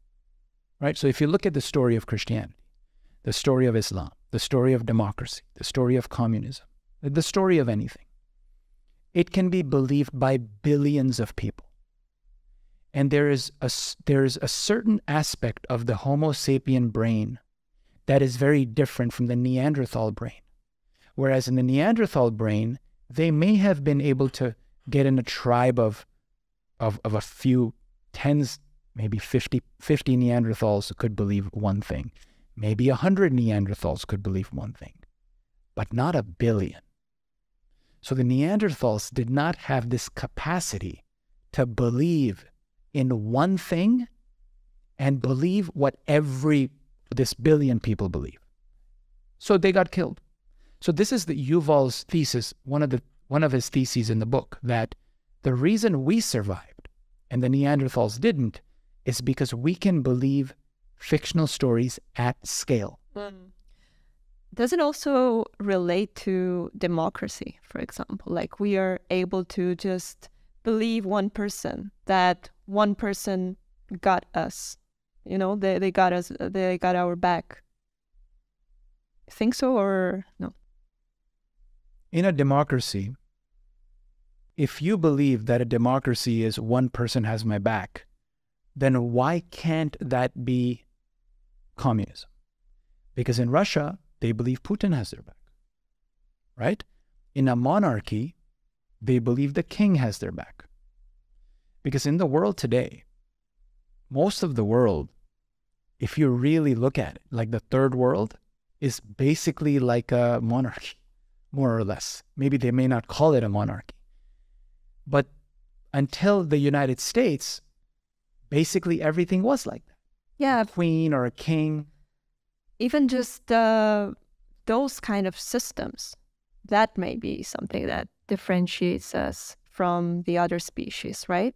that we are able to have those systems and have some people rule and everybody else agrees that this is the right thing. And there is no like fighting. I mean, there is, but uh, within one society, right? People will not fight because, okay, we agreed this is the right thing to do. And there is no chaos. So that belief in the story I feel like it kind of relates to that too. That's a very interesting point. Sapolsky talked about this in the last chapter, Us versus Them, chapter 13. He said that the more intra group conflict there is, right? So within the group, the more you are sensitive to attack because you're busy. You're busy talk you're busy fighting each other. And the lower the intra group conflict, the more likely you are to attack others. This is like scientifically proven stuff. Studies have been done in different species about this. And it's essentially that imagine a country who is very united. And they all have a very common set of beliefs. It's very likely that they will attack another country. A tribe who has the same set of beliefs with each other and they're aligned, it is more likely that they will attack another tribe and try to convince the other tribe that they are right and, and the other tribe is wrong. Right. Very, very interesting point you made. I just feel with AI, with ChatGPT, with Neuralink, What's the point? Where are we going here? Hard to say, but it's like when you look at the history in general, we just keep evolving. And uh, that's the thing about human nature. Because many years ago, you would say, oh, why are they building the plane? Right? And now it makes our lives so much easier. So I remember uh, long ago I read something about like uh, how right now people would be shocked about like marrying a robot, but our grandchildren would not be shocked at all. It's a normal thing. So this is how we evolve as species. But what's the point? I can't tell you. But what I can tell you is how I feel spending time in the digital world versus spending time in nature and uh, having contact with people through the internet versus uh, a personal contact. And uh, the former is so much better for me, and I I just feel that internally that it makes me feel at peace. So, not thinking about this uh, in a collective way about community and uh, society, just thinking about it uh, from my personal perspective I want to spend as uh, you know uh, not not a lot of time in the digital world because it just doesn't serve me well. One thing that I learned from you is how to appreciate beauty. When we are biking, you look at the sky and you tell me, "Hey baby, look. Have you seen the sky? This it's pink or orange or pastel." And now I'm beginning to see the beauty in nature. I'm beginning to see the beauty in a tree or a flower, right? Because in the past, it would be more of an intellectual pursuit, right? Look at these ants, right? It would be like, I wonder what is happening in their brain. Yeah. And what spiking activities happening versus Yeah, like the what are the receptors they're using, right? Precisely, right? So can we put a micro electrode into the ants. I'm sure they've done it, you know, like a nano electrode in the brain, and then we record activity. Now, I still have massive curiosity in these, you know, the neural mechanisms, but I'm beginning to see the beauty of it. And I'm beginning to take a step back and see nature without dissection, nature without reduction so tell me how how is how how do you feel about the mechanisms of something versus the overall picture of something. So, for instance, let's say uh, obesity. Simple example obesity. A lot of people are obese. Well, you got two options. One, you make a society that is not obese by following societies that are not obese. Because not the whole world is not obese, obviously. Many societies in the world are fit. Many cities in the world are fit. The other side of that is no, no, no, no. Let people be obese. It's all good. Let's find the mechanisms of obesity. Let's find the genetic mutation or the variant or the enzyme that we can target to cure, reverse obesity. Mm. I don't like this approach at all. The second one you mentioned, it just, uh, it never felt right to me. Even all of this, uh, you know, uh, genetically modified organisms uh, and stuff like that. It ever since I started learning about it uh, when I was in like in high school, it never felt right. Just for some reason, even though I am, uh, I love science, right? And uh, obviously, I was uh, educated in uh, science, but it just doesn't feel right. And things like that, I would always just follow nature and not try to play God, you know, because I don't know if that's the right approach, right? But that's just what I feel like that's why I also really, really mm. pay attention to how I take care of my health because I would say it's better to prevent it, prevent a disease than to cure it later, as I believe you also agree with. Absolutely. It comes down to intent at the end of the day, right? So when, whenever I'm watching a Huberman lecture and he gets into mechanisms, I'm never thinking, oh, this mechanism will allow us to make a pill Right. I also never think about it that way. But that's where science is going. that's the whole point of the pharmaceutical industry. That's the Right. whole point. Right. I was even thinking about this yesterday. I think after you mentioned that, those like uh, creating pills for happiness, um, I also had this like uh, thought thinking process in my head about where all of this is headed, and I can see all of that happening. Just us uh, creating more and more pills that will modify something Right. Right.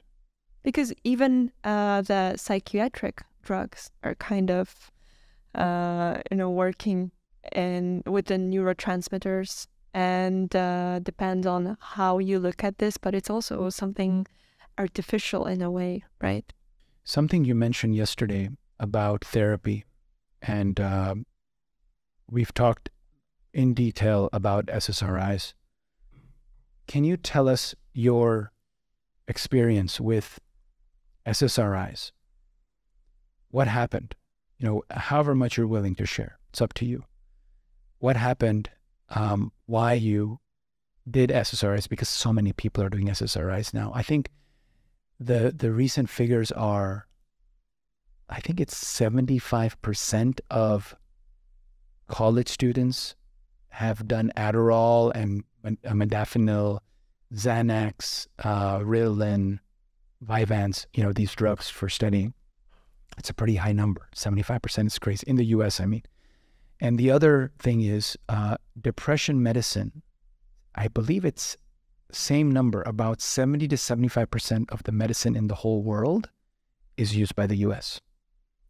So, especially the United States is big into pharmaceuticals. How can we solve this with a pill? Let's sell more pills. Let's make let the, the guy take pills every day. So, take us through your SSRI experience, why you did it, what happened that made you stop, and perhaps the importance of therapy. yeah so um, i was taking ssris for i believe about a year uh, more or less.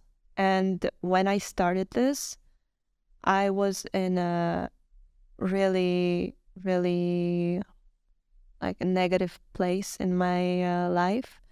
I was very very vulnerable at that moment and i just didn't see another solution for myself at that time because i was just uh, dealing with a lot of anxiety. And i felt like you know i'm the only one feeling anxiety and uh, i might not be able to just uh, function normally if i don't do something with that and initially i wanted to just go to uh, therapy but then uh, the therapist told me i might uh, go to i might have to go to a psychiatrist as well so i, uh, I went for a consultation and I was prescribed SSRIs. And I found another psychotherapist as well, um, who uh, then told me at the very end that I might not need the medication, and she inspired me to stop taking them, which I am really, really grateful for. Uh, looking back at this now, so I really enjoyed being on SSRIs, uh, to be honest, because it just felt like I don't have to deal with all these emotions that I used to have.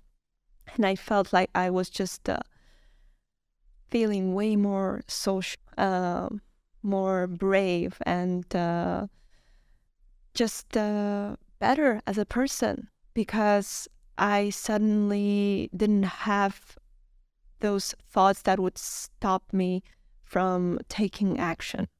And uh, it felt like uh, there's, yeah, like there's basically nothing stopping me. I can do anything and uh, I don't have to deal with any negative emotions. And uh, yeah, I just felt like this was really awesome. But I also had uh, really terrible side effects of that. Um, so I also knew that this cannot last forever. So I thought the earlier I stop taking these uh, meds, the better for me. And uh, that thought was always with me like, uh, okay, this is fine, but uh, this has to end and it has to end soon. So when my therapist told me that uh, I'm I'm doing well, I learned how to cope with the anxiety, and uh, I learned how to use like mental tools to deal with uh, this kind of issues. I don't need the medication anymore, and uh, I just uh, stopped them. Like I was uh,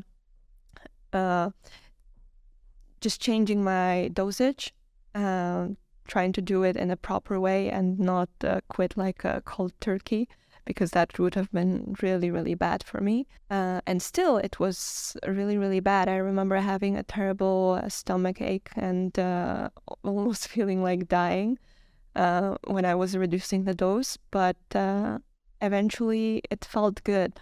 And it also felt good knowing that i am that person without the need of taking anything external, uh, you know, uh, you know what I mean, right? When I felt more brave, more social, but I knew it was because of the drug. And then after I stopped taking it and I still felt like that, it was really huge for me. It was like, wow, okay, I don't actually need this and maybe I never needed this. So uh, if I knew then what I know right now, I would have never taken these drugs, even though I know they could be a tremendous help. And uh, if somebody is in a really, really uh, difficult position in their life, it's okay to take these drugs. It's understandable, but um, I wouldn't have taken it if I knew what I know now. And I never really needed them. What about the CBT? You mentioned today some breath work or some breathing exercises that your your your therapist taught you. So, what sorts of activities could someone do if they are they have anxiety? You said what you know today. If you knew it back then, you wouldn't have done it. So it's like a something you had to learn by doing. That oh, this is a mistake, and that's fine. So, what sorts of activities can someone do? Body activities or mental activities or emotional activities that would be better than SSRIs? Hard for me to answer that because I would say it involves rewiring your whole brain and changing everything about your life because I feel like I am so much different than the person I was uh, how many years ago? Four years ago, and uh, it's it's really hard to judge, you know, because if somebody is not where I am right now, they might not get it, and it might be really hard for them. But um, what I have right now is uh, a lot of mental peace and clarity, and this sort of feeling that anything that happens, everything will be good, that nothing bad is really going to happen, nothing is going to destroy me, and that I will always be okay no matter what happens. And uh, yeah, just being with yourself a lot, doing breath work, meditating, going deep into your spirituality and not running away when you feel a difficult emotion, not trying to get rid of that because I feel like uh, in my case, and uh, my probably biggest issue and the reason why I decided to uh, seek help at uh, that point in my life was the strategy of running away from difficult things and situations. So I had this mechanism that whenever something seemed hard, I felt like uh, you know fight or flight. I would just always uh, choose flight, just run away and be happy that uh, you didn't have to face your fear this time. But then again, I would start worrying about the next thing that was going to happen, and then oh, I ru- I uh, ran away again. So the therapy helped me a lot to just face difficult situations and just do things that seemed hard because I will be okay no matter what happens. So just changing that strategy from running away to facing the difficulties. And I feel like uh, we even discussed this recently. The or I read this somewhere, but I think we discussed this. When you go into social media because you want to avoid something, because you just want to numb the pain that you have instead of going into it and discovering what it really is. So I would say this is really important. And, uh, you know, the, the other tools like breath work, meditation, it helps. But you got to know what is inside you and what are the feelings that you are experiencing. Reminds me of what Seth Godin once said. He said, uh, You have to get really good at being bored if you want to become a good writer. That was his number. Yeah, you told me that recently. Yeah, so I want to um, get into the topic of the giving a fuck about what other people think. This is a big one. This is huge. This is something that I've seen in you, right? So, um, for a very simple example is us using a ball at Digital Jungle. Okay. And I've also felt this a little bit from Jameson, right? Because I remember I told you the story where Jameson was feeling a bit, um, what will other people think? I remember this work. shocked me, to be honest, because I never thought that he, out of all people, would think that. But yeah, it's just a normal thing to feel, I guess. But uh, in these aspects, I I don't feel like I don't feel weird. It just feels normal to do strange stuff. Yeah, because because it's interesting. Like, th- I think there are, for me personally, there are levels of not giving a fuck, right? And certain levels are toxic, whereas other levels are even worse than toxic because then you won't do what you want to do. So let me give you an example breath work.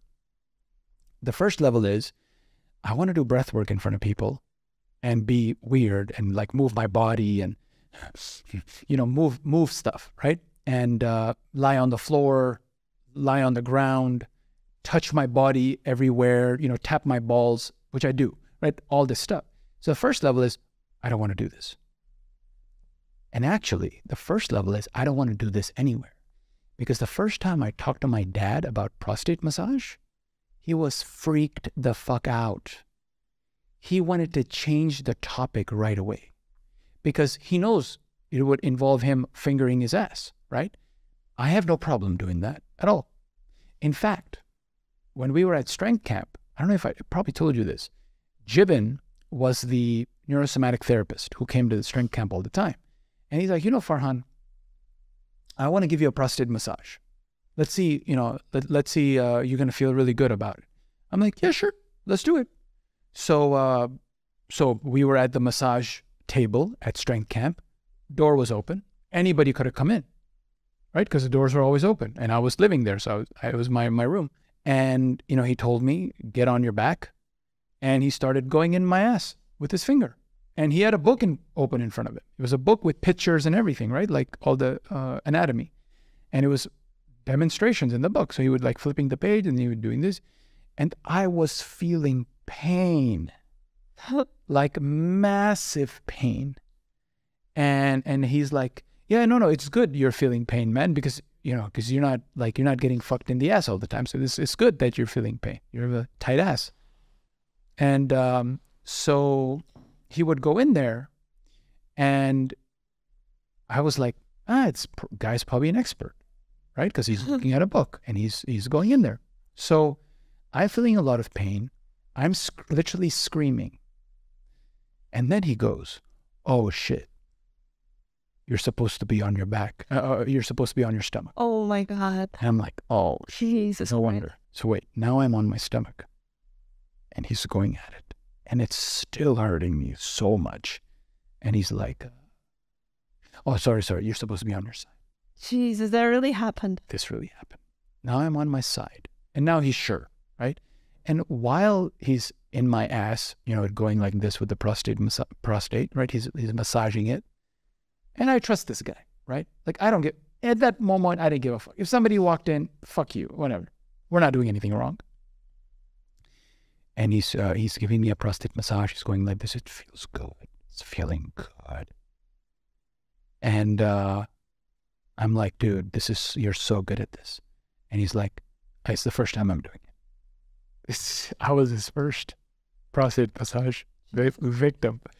Yeah, you know, even this feels weird when you tell me that.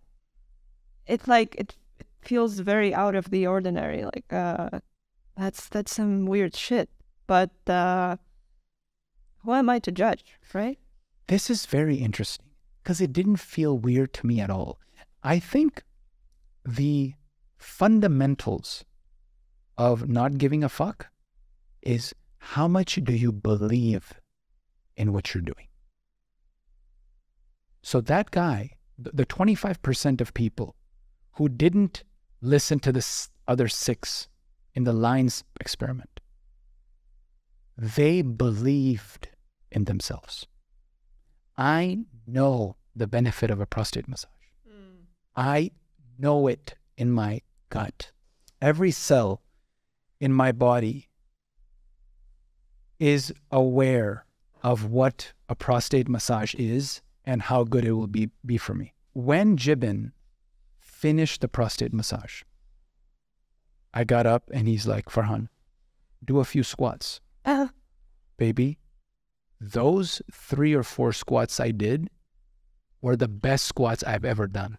And I felt so light. mobile.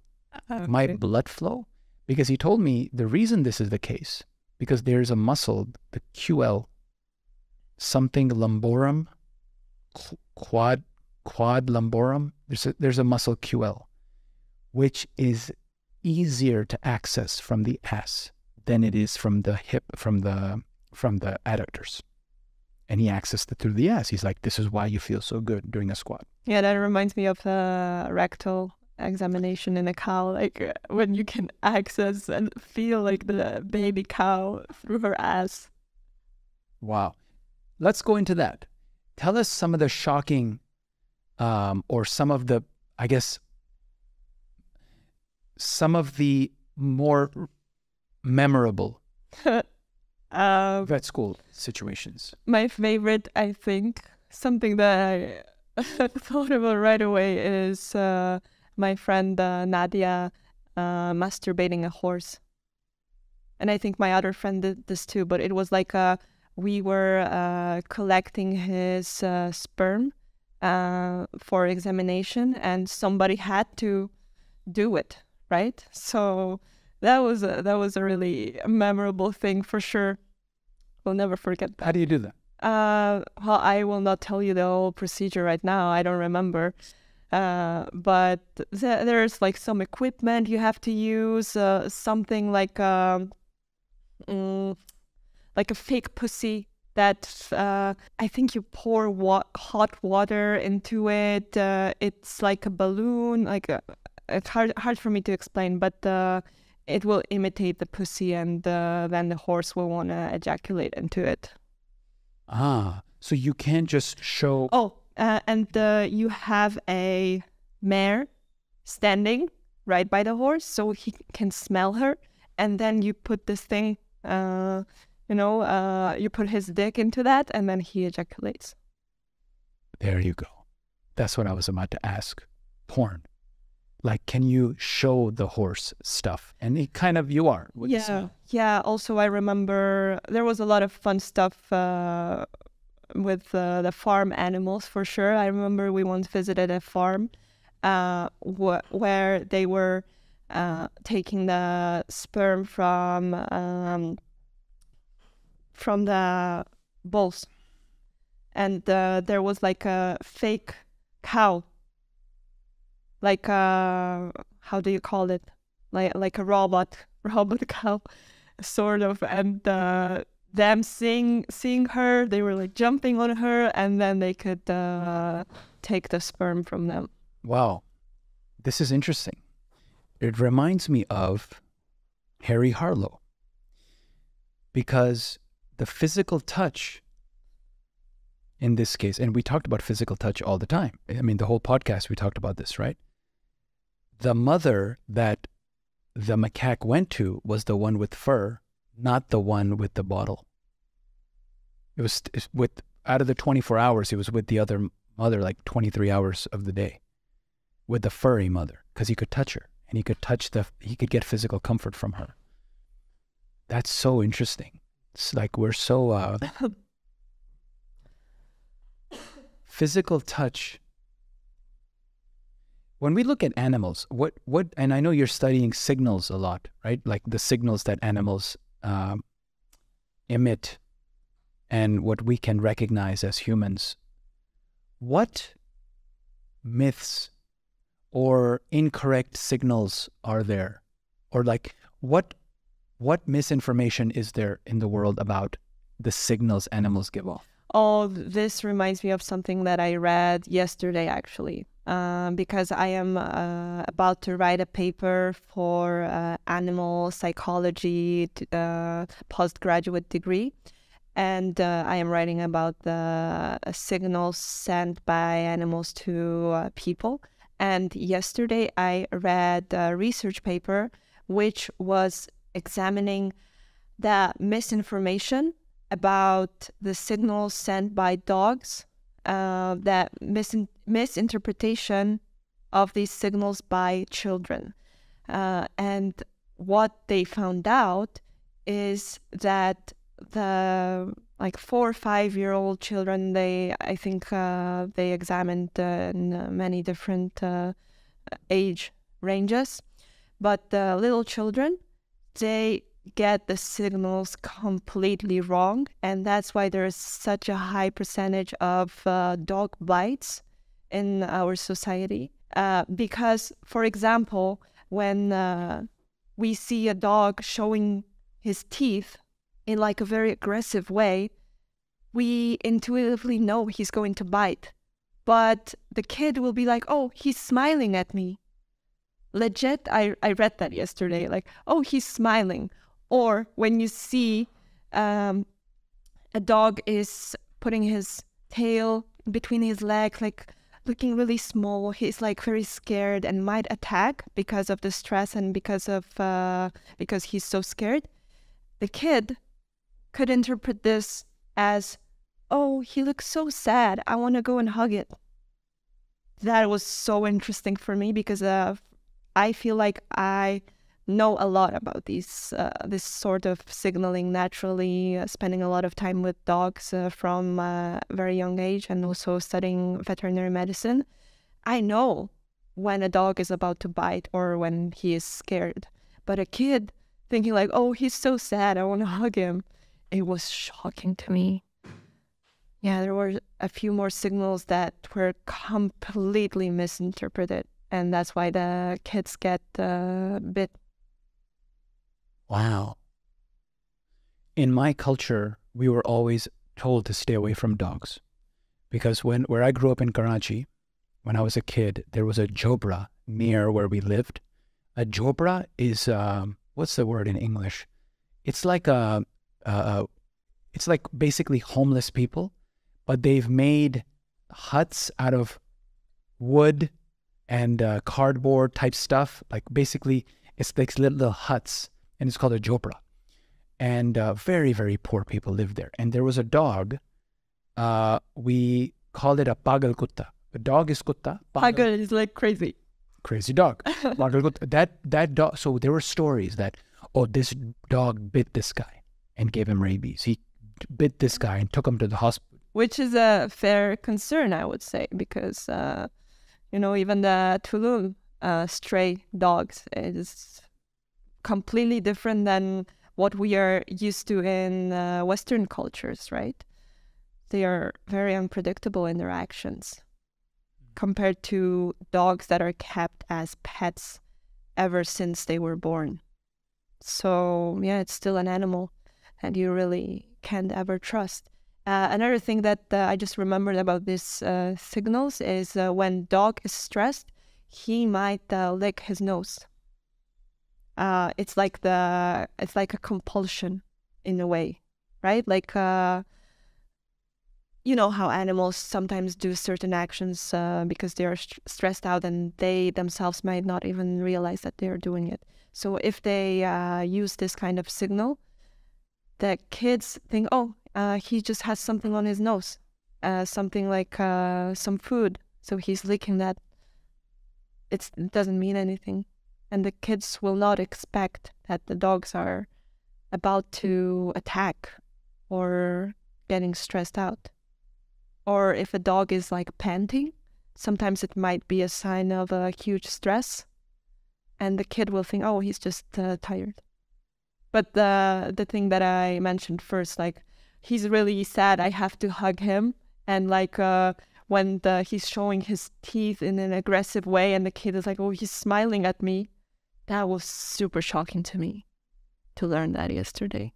Parents have to be careful when they go to a different country where there are a lot of stray dogs. Like in Tulum, if someone comes here from Boston with their dog, from LA with their dog, they got to be smart. Of course. With with their dog and with their kids.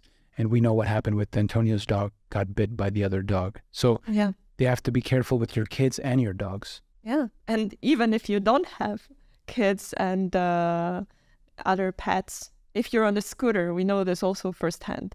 If you're on a scooter, on a bike, or even in a car, the dogs might just attack. Why is that? You tell me. Why because humans are like this too, obviously. Like, I'll give you a simple example. In the social isolation experiments of Harry Harlow, he isolated animals from anywhere from three to 12 months. And then he introduced them, reintroduced them into, not reintroduced because they were never introduced, they, he introduced them into society, normal society. And one of the results he got was that the socially isolated, purely socially isolated, because some of them were like six months normal and then they were isolated. So they were like at least knew what the environment was before they were isolated. But a lot of them were isolated from literally three hours after they were born. They were taken mm. away from the mothers.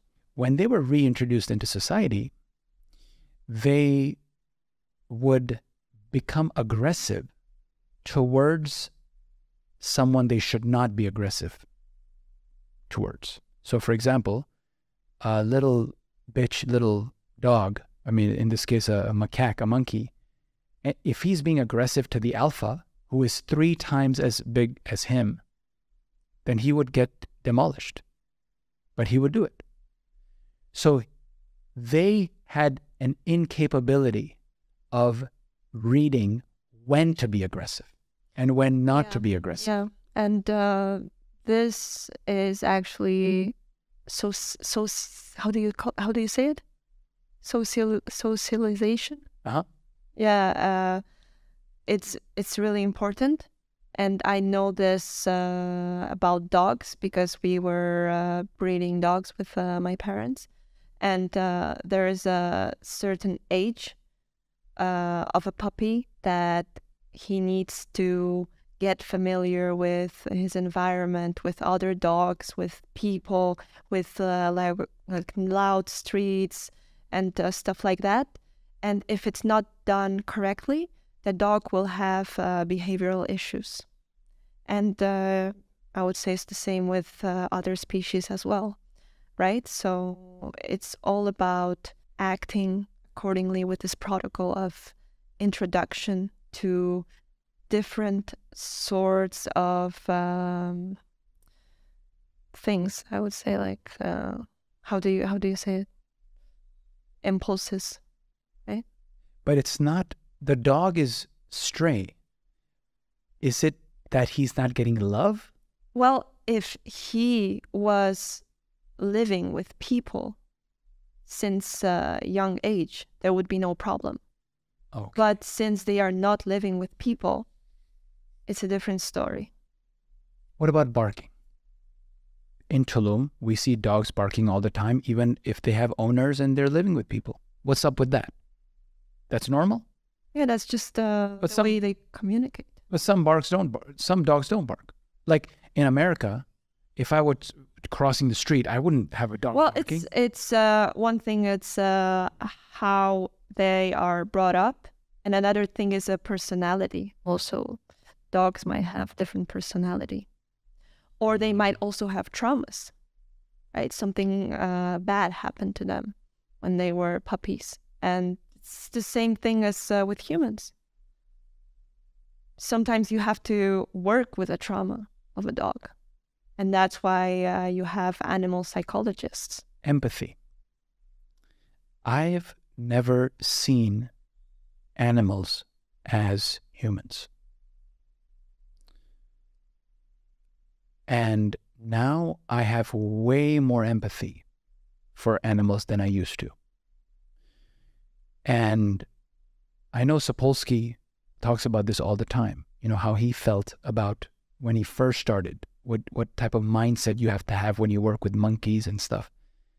But in general, whenever a one of our technicians would cry after we had to euthanize a monkey, or once a monkey got sick, or could not, we couldn't do experiments on the monkey. I mean, I would be crying because I couldn't do the experiments and get data.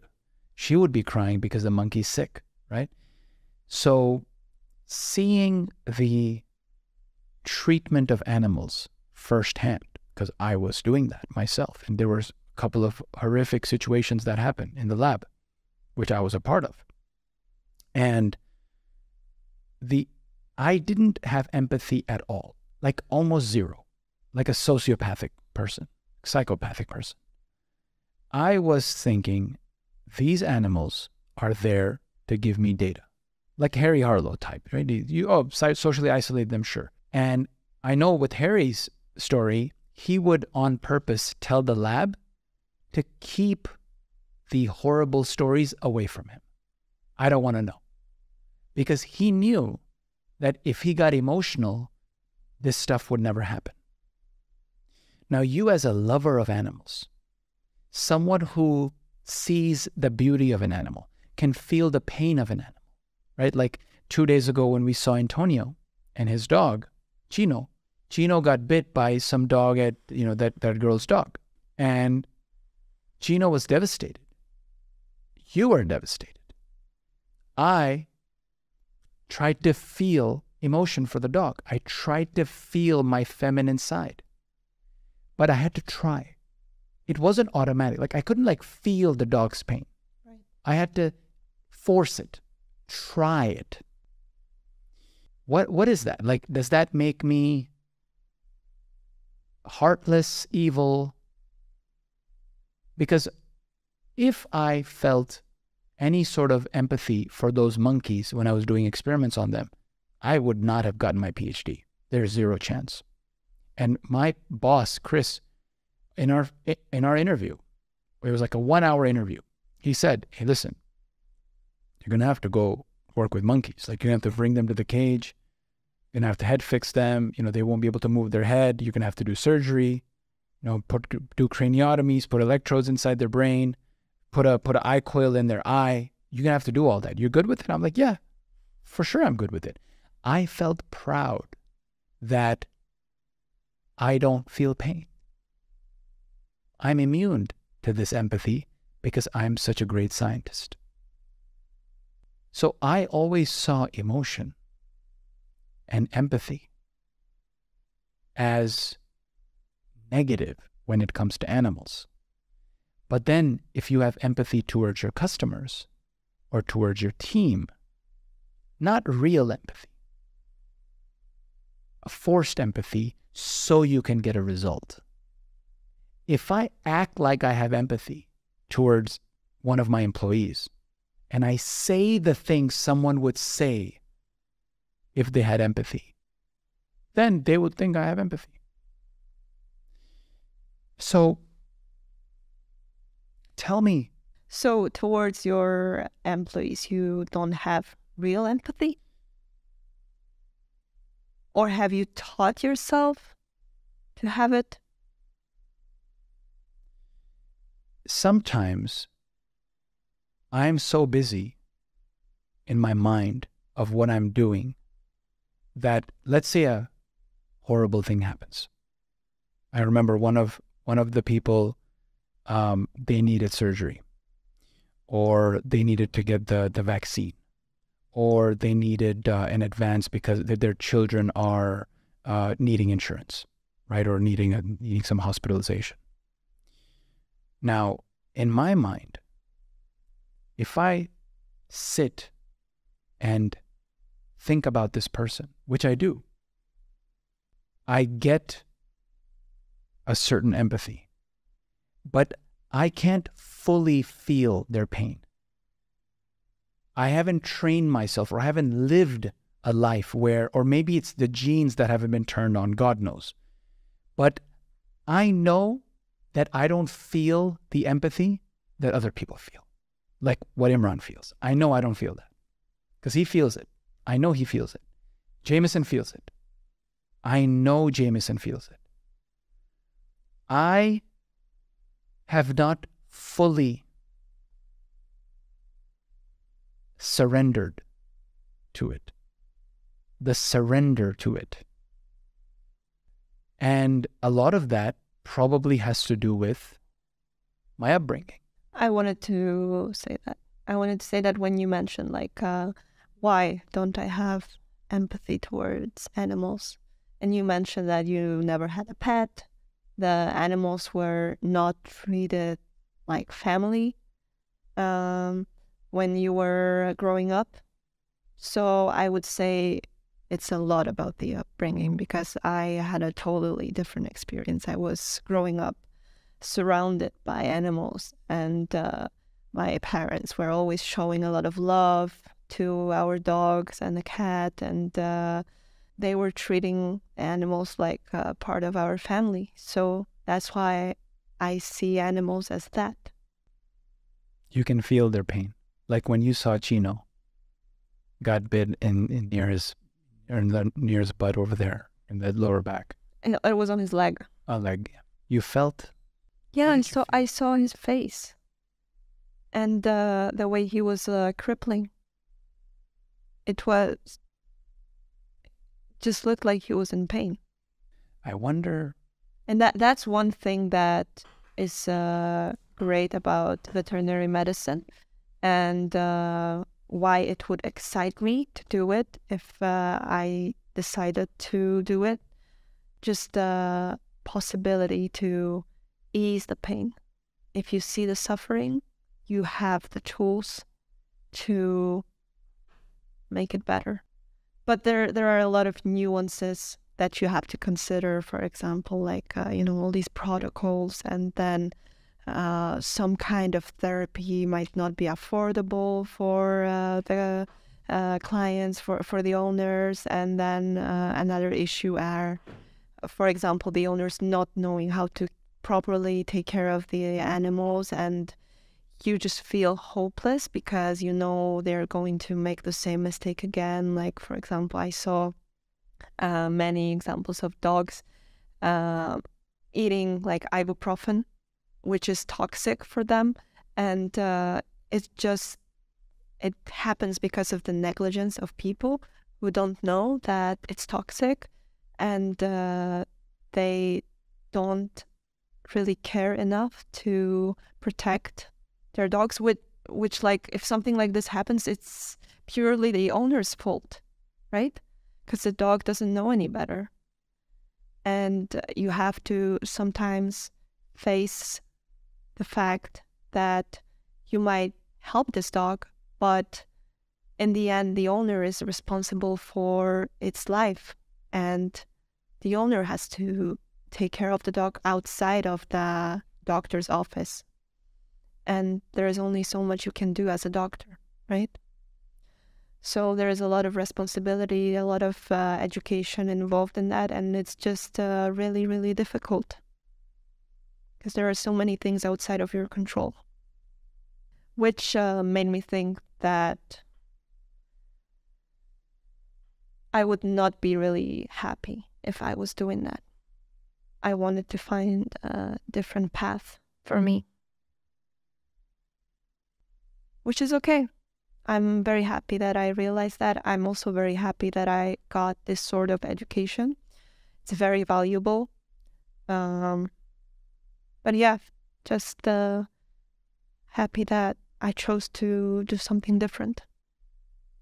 Tell us about that. What what are you interested in now, present day? And how do you feel when you do that? Day to day, what's your what do you love what activities do you love doing well uh, first of all i love going to the gym uh, which is really really interesting because i only started i think last year uh, and i never was a athletic sort of uh, person and uh, i avoided the gym as much as uh, it was possible but then I started doing that, and you inspired me again. And uh, I'm just really happy that I'm doing that. And uh, another thing, I am currently learning uh, programming and starting with Python, but I also already have interest in other languages. I want to discover um, other frameworks and just um, see what I am interested in the most. And uh, I am very happy to be in a position when I where I have the freedom to explore what is uh, interesting to me and just go on this uh, beautiful adventure. So uh, this is what I do day to day. Um, I just enjoy the learning process because I am basically learning programming from scratch. And uh, yeah, I just always really liked the analytical and uh, logical stuff. So going into that after working a little bit uh, with uh, customers and uh, in general uh, business kind of stuff, I felt like, oh, I want to discover this uh, software world. So that's what I'm doing right now. But I'm also, as I mentioned, uh, continuing the animal psychology studies. And then, as I also mentioned, I'm just reading stuff that is uh, interesting to me. Was there a tipping point that made you decide to become a programmer, become a programming student? Um, yeah, it was kind of interesting uh, process because I always knew that there is something uh, that is like uh, programming, but I never knew what exactly it was. Apart from like learning HTML when I was really really young, when I was maybe like 10 years old. Uh, I was uh, writing HTML code in the notepad. Uh, so that was really fun. But apart from that, I never knew what uh, coding was. And uh, basically, when I was uh, working in my previous jobs, I encountered people who were programmers and they were building the software and uh, I just naturally got interested in that. I really wanted to know what exactly they are doing and uh, if it's fun or not, or if I would enjoy something like this.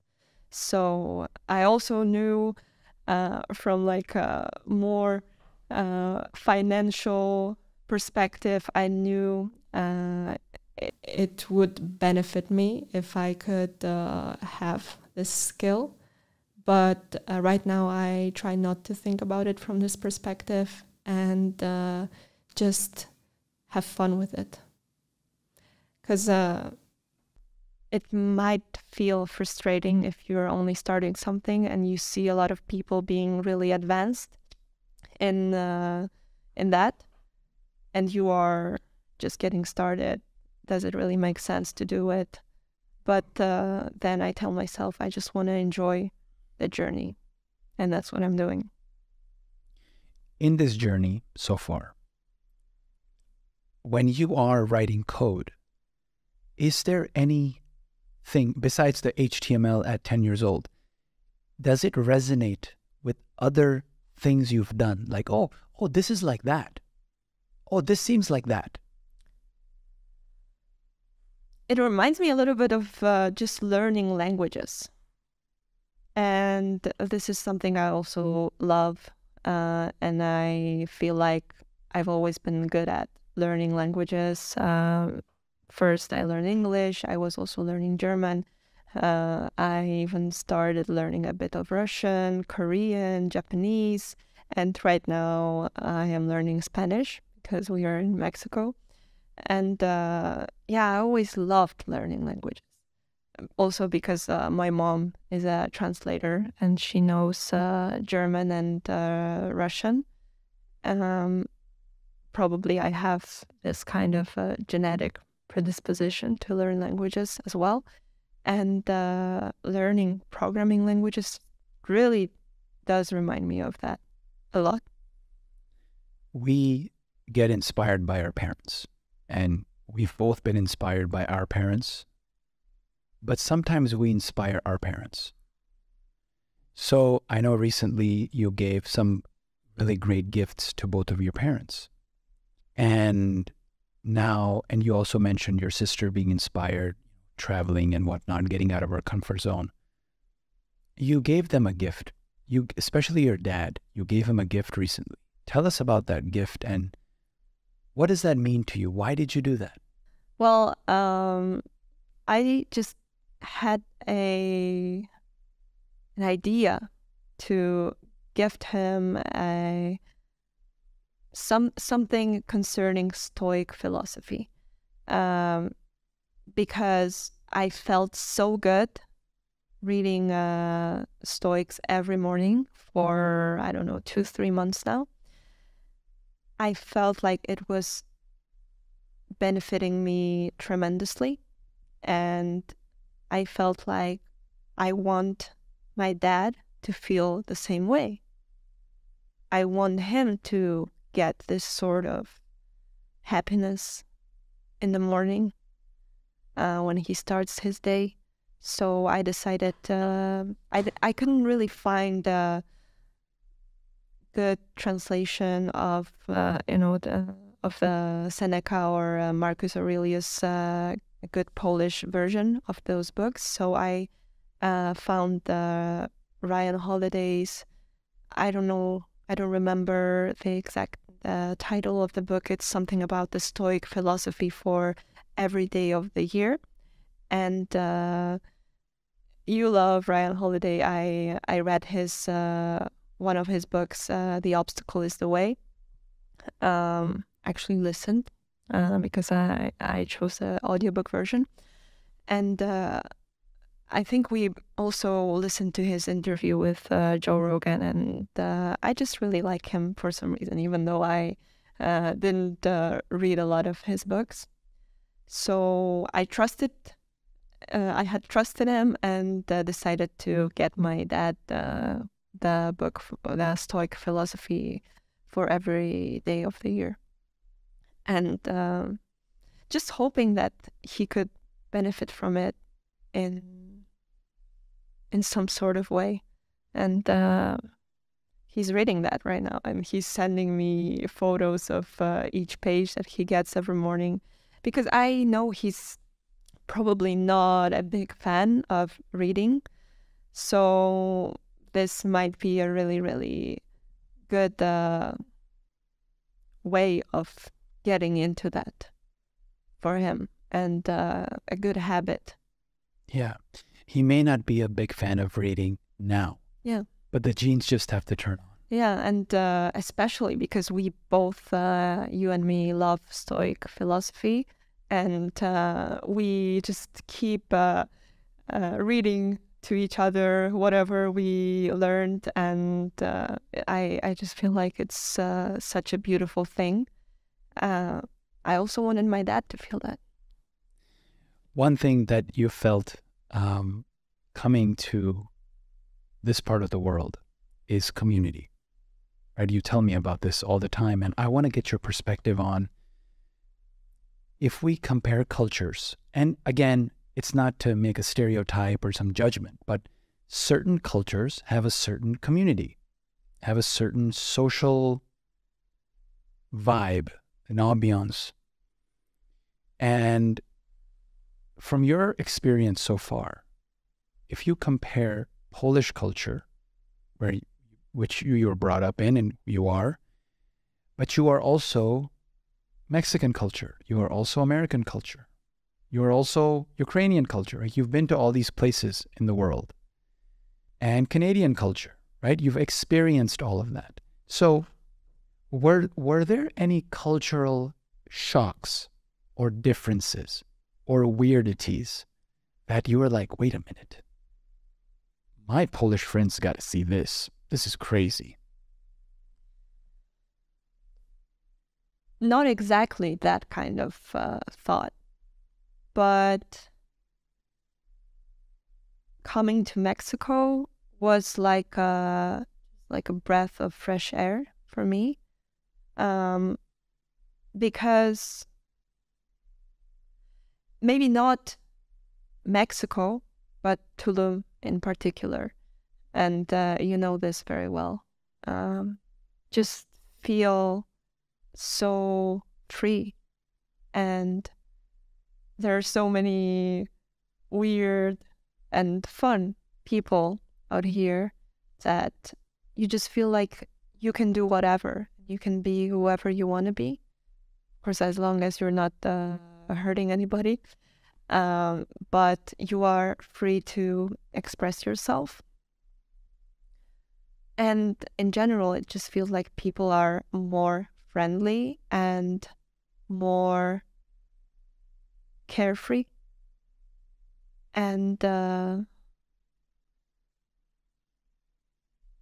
and it just makes you feel better because when I am in Poland, I feel like uh, there is a lot of seriousness.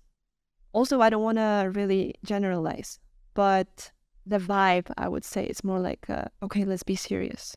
We are in a serious community, and uh, we got serious jobs to execute. Whereas in here in Tulum, it's more like, oh, you know, ah, it's whatever. Ahorita, uh, you even have people who uh, who will get certain jobs done for you, but they're like, oh, okay, okay, whatever and uh, it's of course it has uh, also uh, negative sides but in general it's way more chill and i just feel way more happy in here also it's uh, probably because of the climate as well because uh, half of the year or maybe a little bit less but uh, a huge uh, portion of the year in Poland. Uh, it's dark. It's ugly outside. Like uh, you don't really feel like you want to go outside because there's no sun. And here, all year long, you have the sun. You have uh, high temperatures, and you just feel like you are in paradise. So that's uh, I feel like it makes a huge difference too. And about the things that really shocked me uh, as a European person is uh, for sure uh, first time coming to the United States and uh, seeing uh, the obese people being like a normal thing, which you don't really see in Europe. I haven't seen that in any European country what I've seen in anywhere basically in the US where I've been. It was shocking. And I don't mean to obviously um, think negatively about obese people, but I do believe that this is causing harm to health. So that was uh, really sad for me to see. Even though you were very immersed in Hollywood culture, I mean, you know more Hollywood than I do. Well, but uh, you don't really see that in Hollywood movies. Right. You? you don't see the reality. Yeah, I don't. I don't think they show that. Because you wouldn't like America then, right? People would get a negative. Yeah. Also, um, what uh, another thing that shocked me is how in the suburbs you get all of these Wendy's, uh, KFC, Taco Bell, and uh, it's like a copy paste basically. And uh, it's all huge, but it's not nice. It's not like a beautiful scenery. You know what I mean? Where if you are in Europe, you have like a really, really nice views everywhere. Everything is uh, unique and uh, in the US, I haven't seen a lot of it, but from what I've seen, it looks very much like copy paste, copy paste. You know what I mean? I do. We spoke about that with Puro versus the hotels we stayed at in the US. Yeah. Huge difference. Speaking of beauty, I've always be a, been a proponent of function, function over beauty what can this thing do? So, for example, you have a plate in front of you. It could be beautifully organized. The you know the vegetables here are very cutely designed, and fruits here, and meat here, and all this.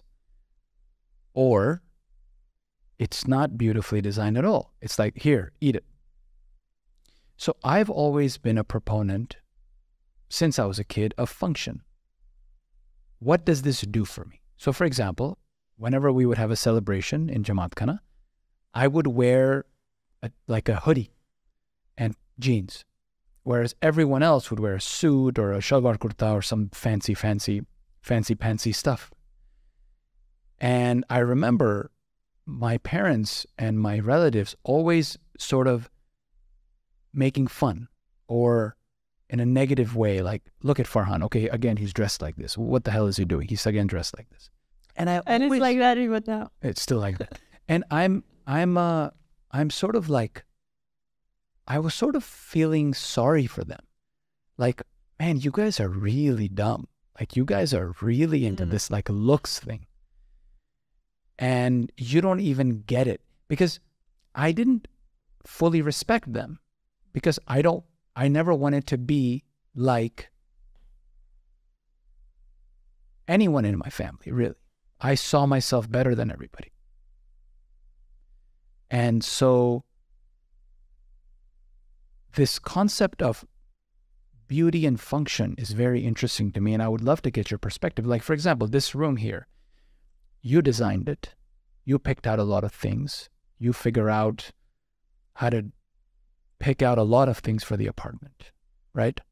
And, you know, what lamps to get, uh, you know, even how to decorate the bathroom. You know, you pay attention to little details, how to make things elegant and still minimal. And how would this match with the current configuration, right? You care about all these things.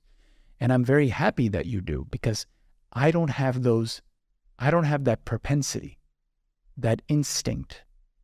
I have instincts for other things. So, function wise, versus beauty. What is that? Is that a masculine feminine thing? Yeah, I was uh, I was just about to say it like it's the feminine energy.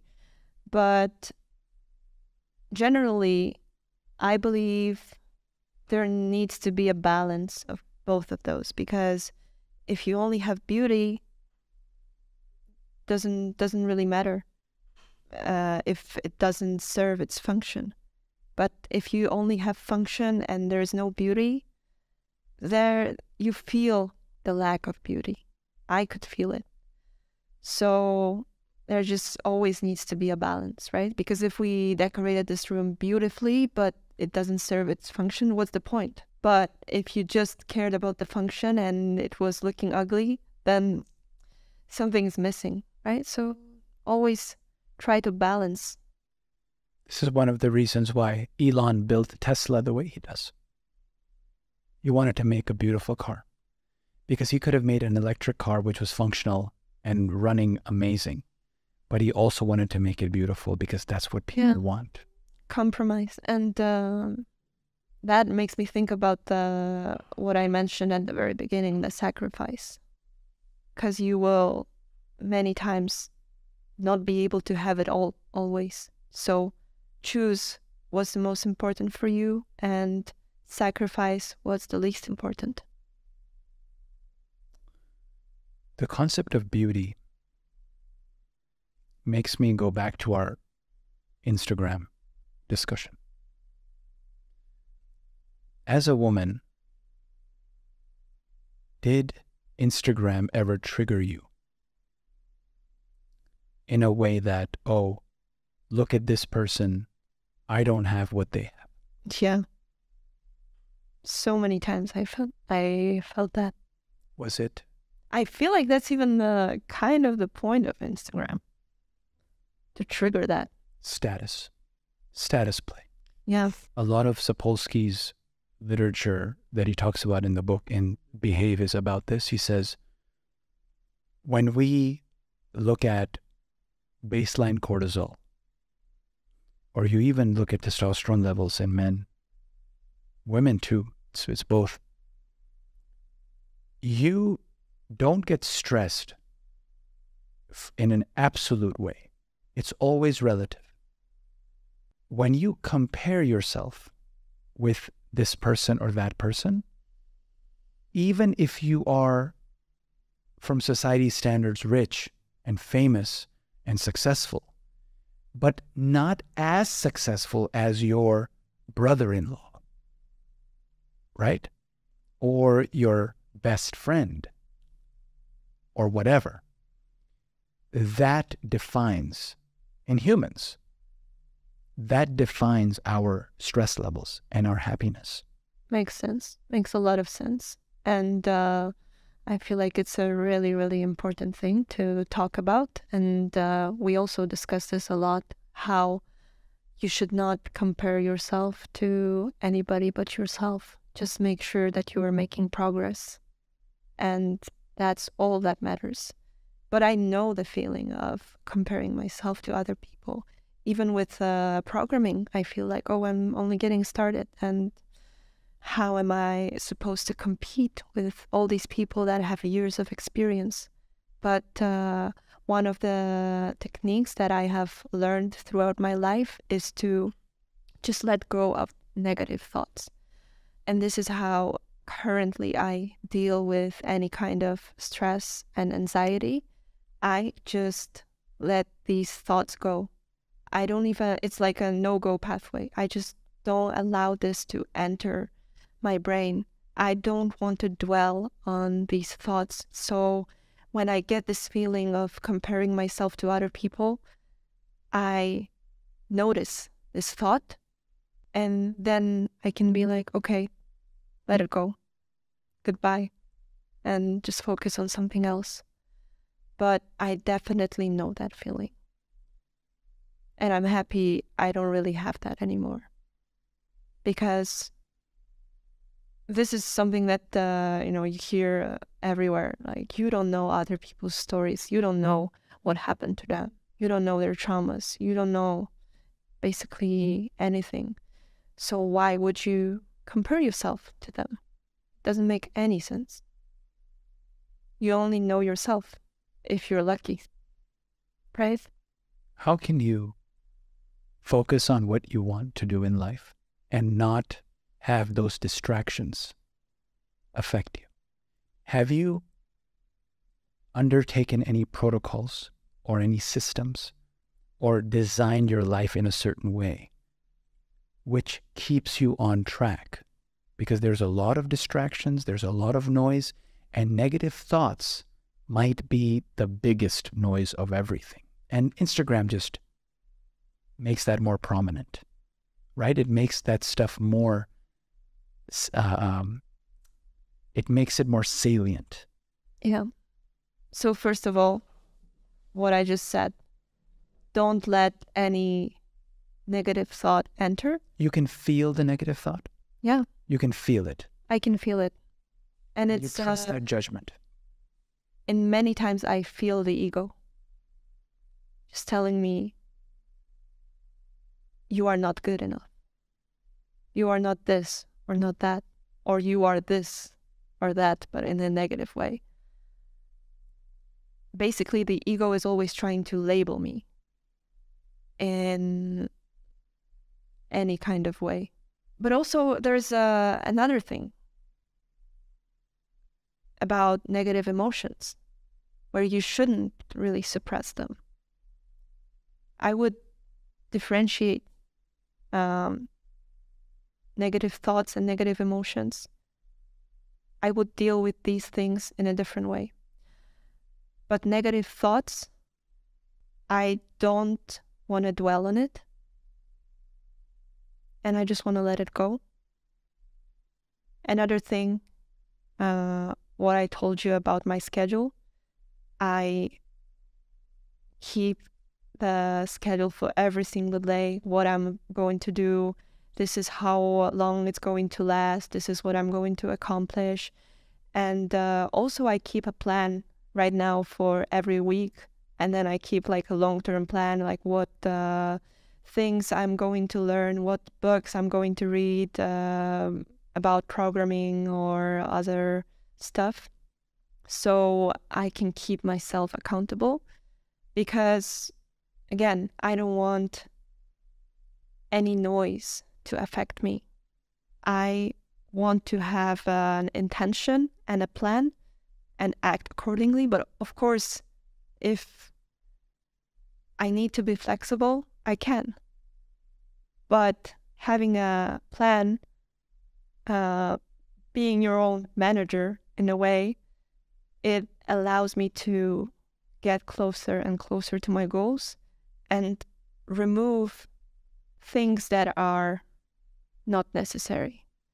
But as I said, if uh, I meet somebody I know during the day and uh, we have a conversation, sorry, conversation which is uh, spontaneous, I will not be like, oh, now on my schedule I have something else, so I need to run away from this person.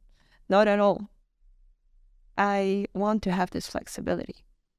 But then again, if I just want to take my phone and go on social media, I remind myself right away hey, what are you doing? Is this going to bring you any value? And the answer is always no. Just get back on track. Because you can feel the negative thought. I always feel that. Whenever I open Instagram, I always feel like this is sucking my soul. And you got to trust that feeling. Yeah. The last topic I want to get into is how do you balance? Because this is something I've learned from you. You are tough. You're solid. You're tough. You're resilient. You you see an obstacle and and you may express the pain of it you may express how sad it is or how angry it makes you or how frustrated it makes you, right? You express those emotions, but you are so tough that while you're expressing your emotion, while you have that feminine energy, you're still tough and you are resilient. You persevere. And we saw that in, in Merida when you had this massive allergy problem. And I saw it. I mean, I, I couldn't, sometimes I couldn't bear to see it. Right. And I did my best to console you and hug you and just whatever love I could provide. But at the end of the day, you were really suffering. But I still remember that you were tough. You're like, you know what? I'll just wear the mask in the house, whatever. I'll figure it out. I'll wear two masks. I will go outside sometimes, or we will just go to cafes. You are always solving, but at the same time, feeling. And I see this in very few people. It's very rare because in society, and this is me included, either you are practical and tough, but then you don't have emotion because it makes you weak. But then the other side is you're very emotional, you're crying, and you don't have any solid foundation on anything. So if you go back to your life and you're, if you can feel the wiring of your brain or the rewiring of your brain, how can you have both of those? Yeah, that's a really interesting thing. And it right away made me think of uh, something that I used to think about myself, which uh, I'm not really uh, so deep into right now, but I used to you know, uh, read about astrology, numerolo- numerology, and uh, stuff like that, which uh, I'm not into uh, right now. Uh, but I used to think, you know, I'm a Cancer. I, I don't think you are deep into astrology, right? So Cancers are known for being very, very emotional. And it's basically the uh, most emotional zodiac sign that there is. And then, uh, from the perspective of numerology, I'm number one. And one is a very, very practical uh, number. Uh, it means like you are the leader, you are the number one. So, when I, uh, at the time when I was interested in stuff like that, it was like, I don't know, five years ago. I was always thinking, like, yeah, that's exactly who I am kind of like uh, two different, completely different uh, things in one person. On one side, uh, very emotional, and on the other side, uh, on one hand, very emotional, on the other hand, very uh, practical. So uh, that's very interesting that you said that because I forgot about this. I was like never really interested in astrology or uh, numerology uh, since then. But now that you mentioned that, uh, it made me think of that. And I was also contemplating that in the past, like how interesting that I am both very deep into feeling stuff and at the same time i feel very tough and uh, hard to say i don't know where that is coming from from God. For sure. Um, final question is about peace. We talk about peace a lot. At least the last couple of days, we've been talking about peace. And I know when we do our breath work, we do nasal breathing, we take deep breaths. Today, you told me about a new system of breath work you were working on where we're breathing deeper and yes. slower. Yes. Yeah, and it happened, uh, it was very intuitive. And it happened two days in a row. Uh, yesterday and today, I did my last uh, session um, because I do 30, 30, 30. And the fourth one I did very deep and very slow. And both times it just felt divine. And I don't know why I did that, it just happened. But both times it was really, really great. There are certain moments which take us away from peace. And from my life understanding, it's when we are not playing. When we become serious and thinking about something in a ego way, a transactional way. What can I get out of this? Peace goes away from my experience because play goes away. What lessons have you learned when it comes to being at peace in your heart and has play and fun and uh, seeing the humor in something helped. Definitely. Definitely it helps. And you actually were the person who told me about this concept of playing. And uh, ever since you mentioned this to me first time, I have been thinking about this. And uh, even right now, I, in my programming, uh, what I do in programming, I feel like it's just uh, play and fun. I don't like to look at this from the perspective like, oh, will it uh, get me a great job? Will it uh, uh, allow me to make a lot of money? That spoils the fun big time. I I don't like to think about these things. And uh, we talked about this a lot as being in Tulum. We have so much opportunity to just have fun. And, you know, I don't mean that in a way of going to a party, getting drunk, but rather just uh, having fun during the daily activities like going on a bike, um, going to the co-working, going to the gym, constantly just uh, playing and having fun. Because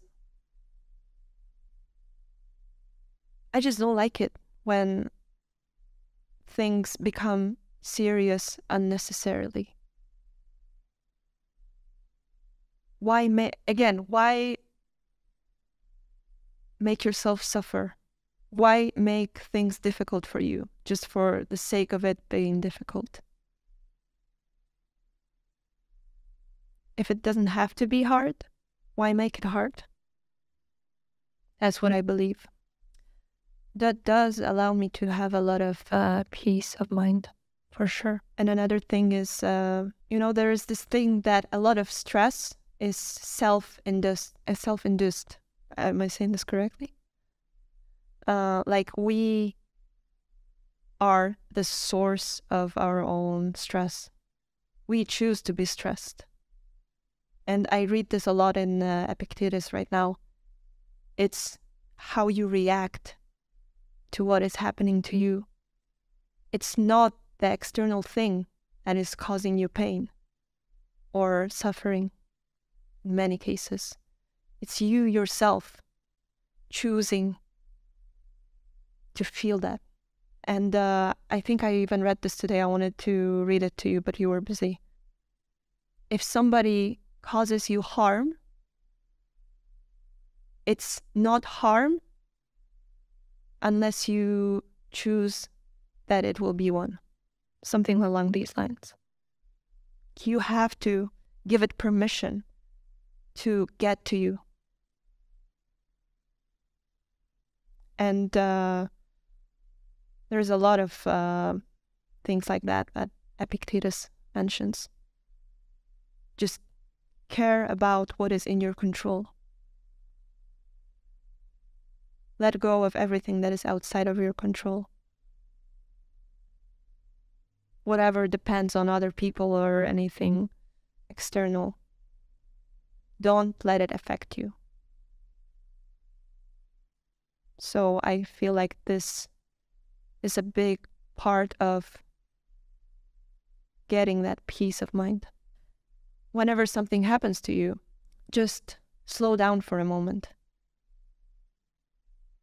As you said, just breathe for a couple of minutes and then get back to that situation and see what you think about it. You said this to me today, and I also read this in Epictetus today. Thank you, baby, for your time, for the schedule, fitting us into your schedule, fitting this podcast into your schedule. Much, much appreciated. I know um, took me a long time to get you here. You're very welcome. And thank you as well, baby.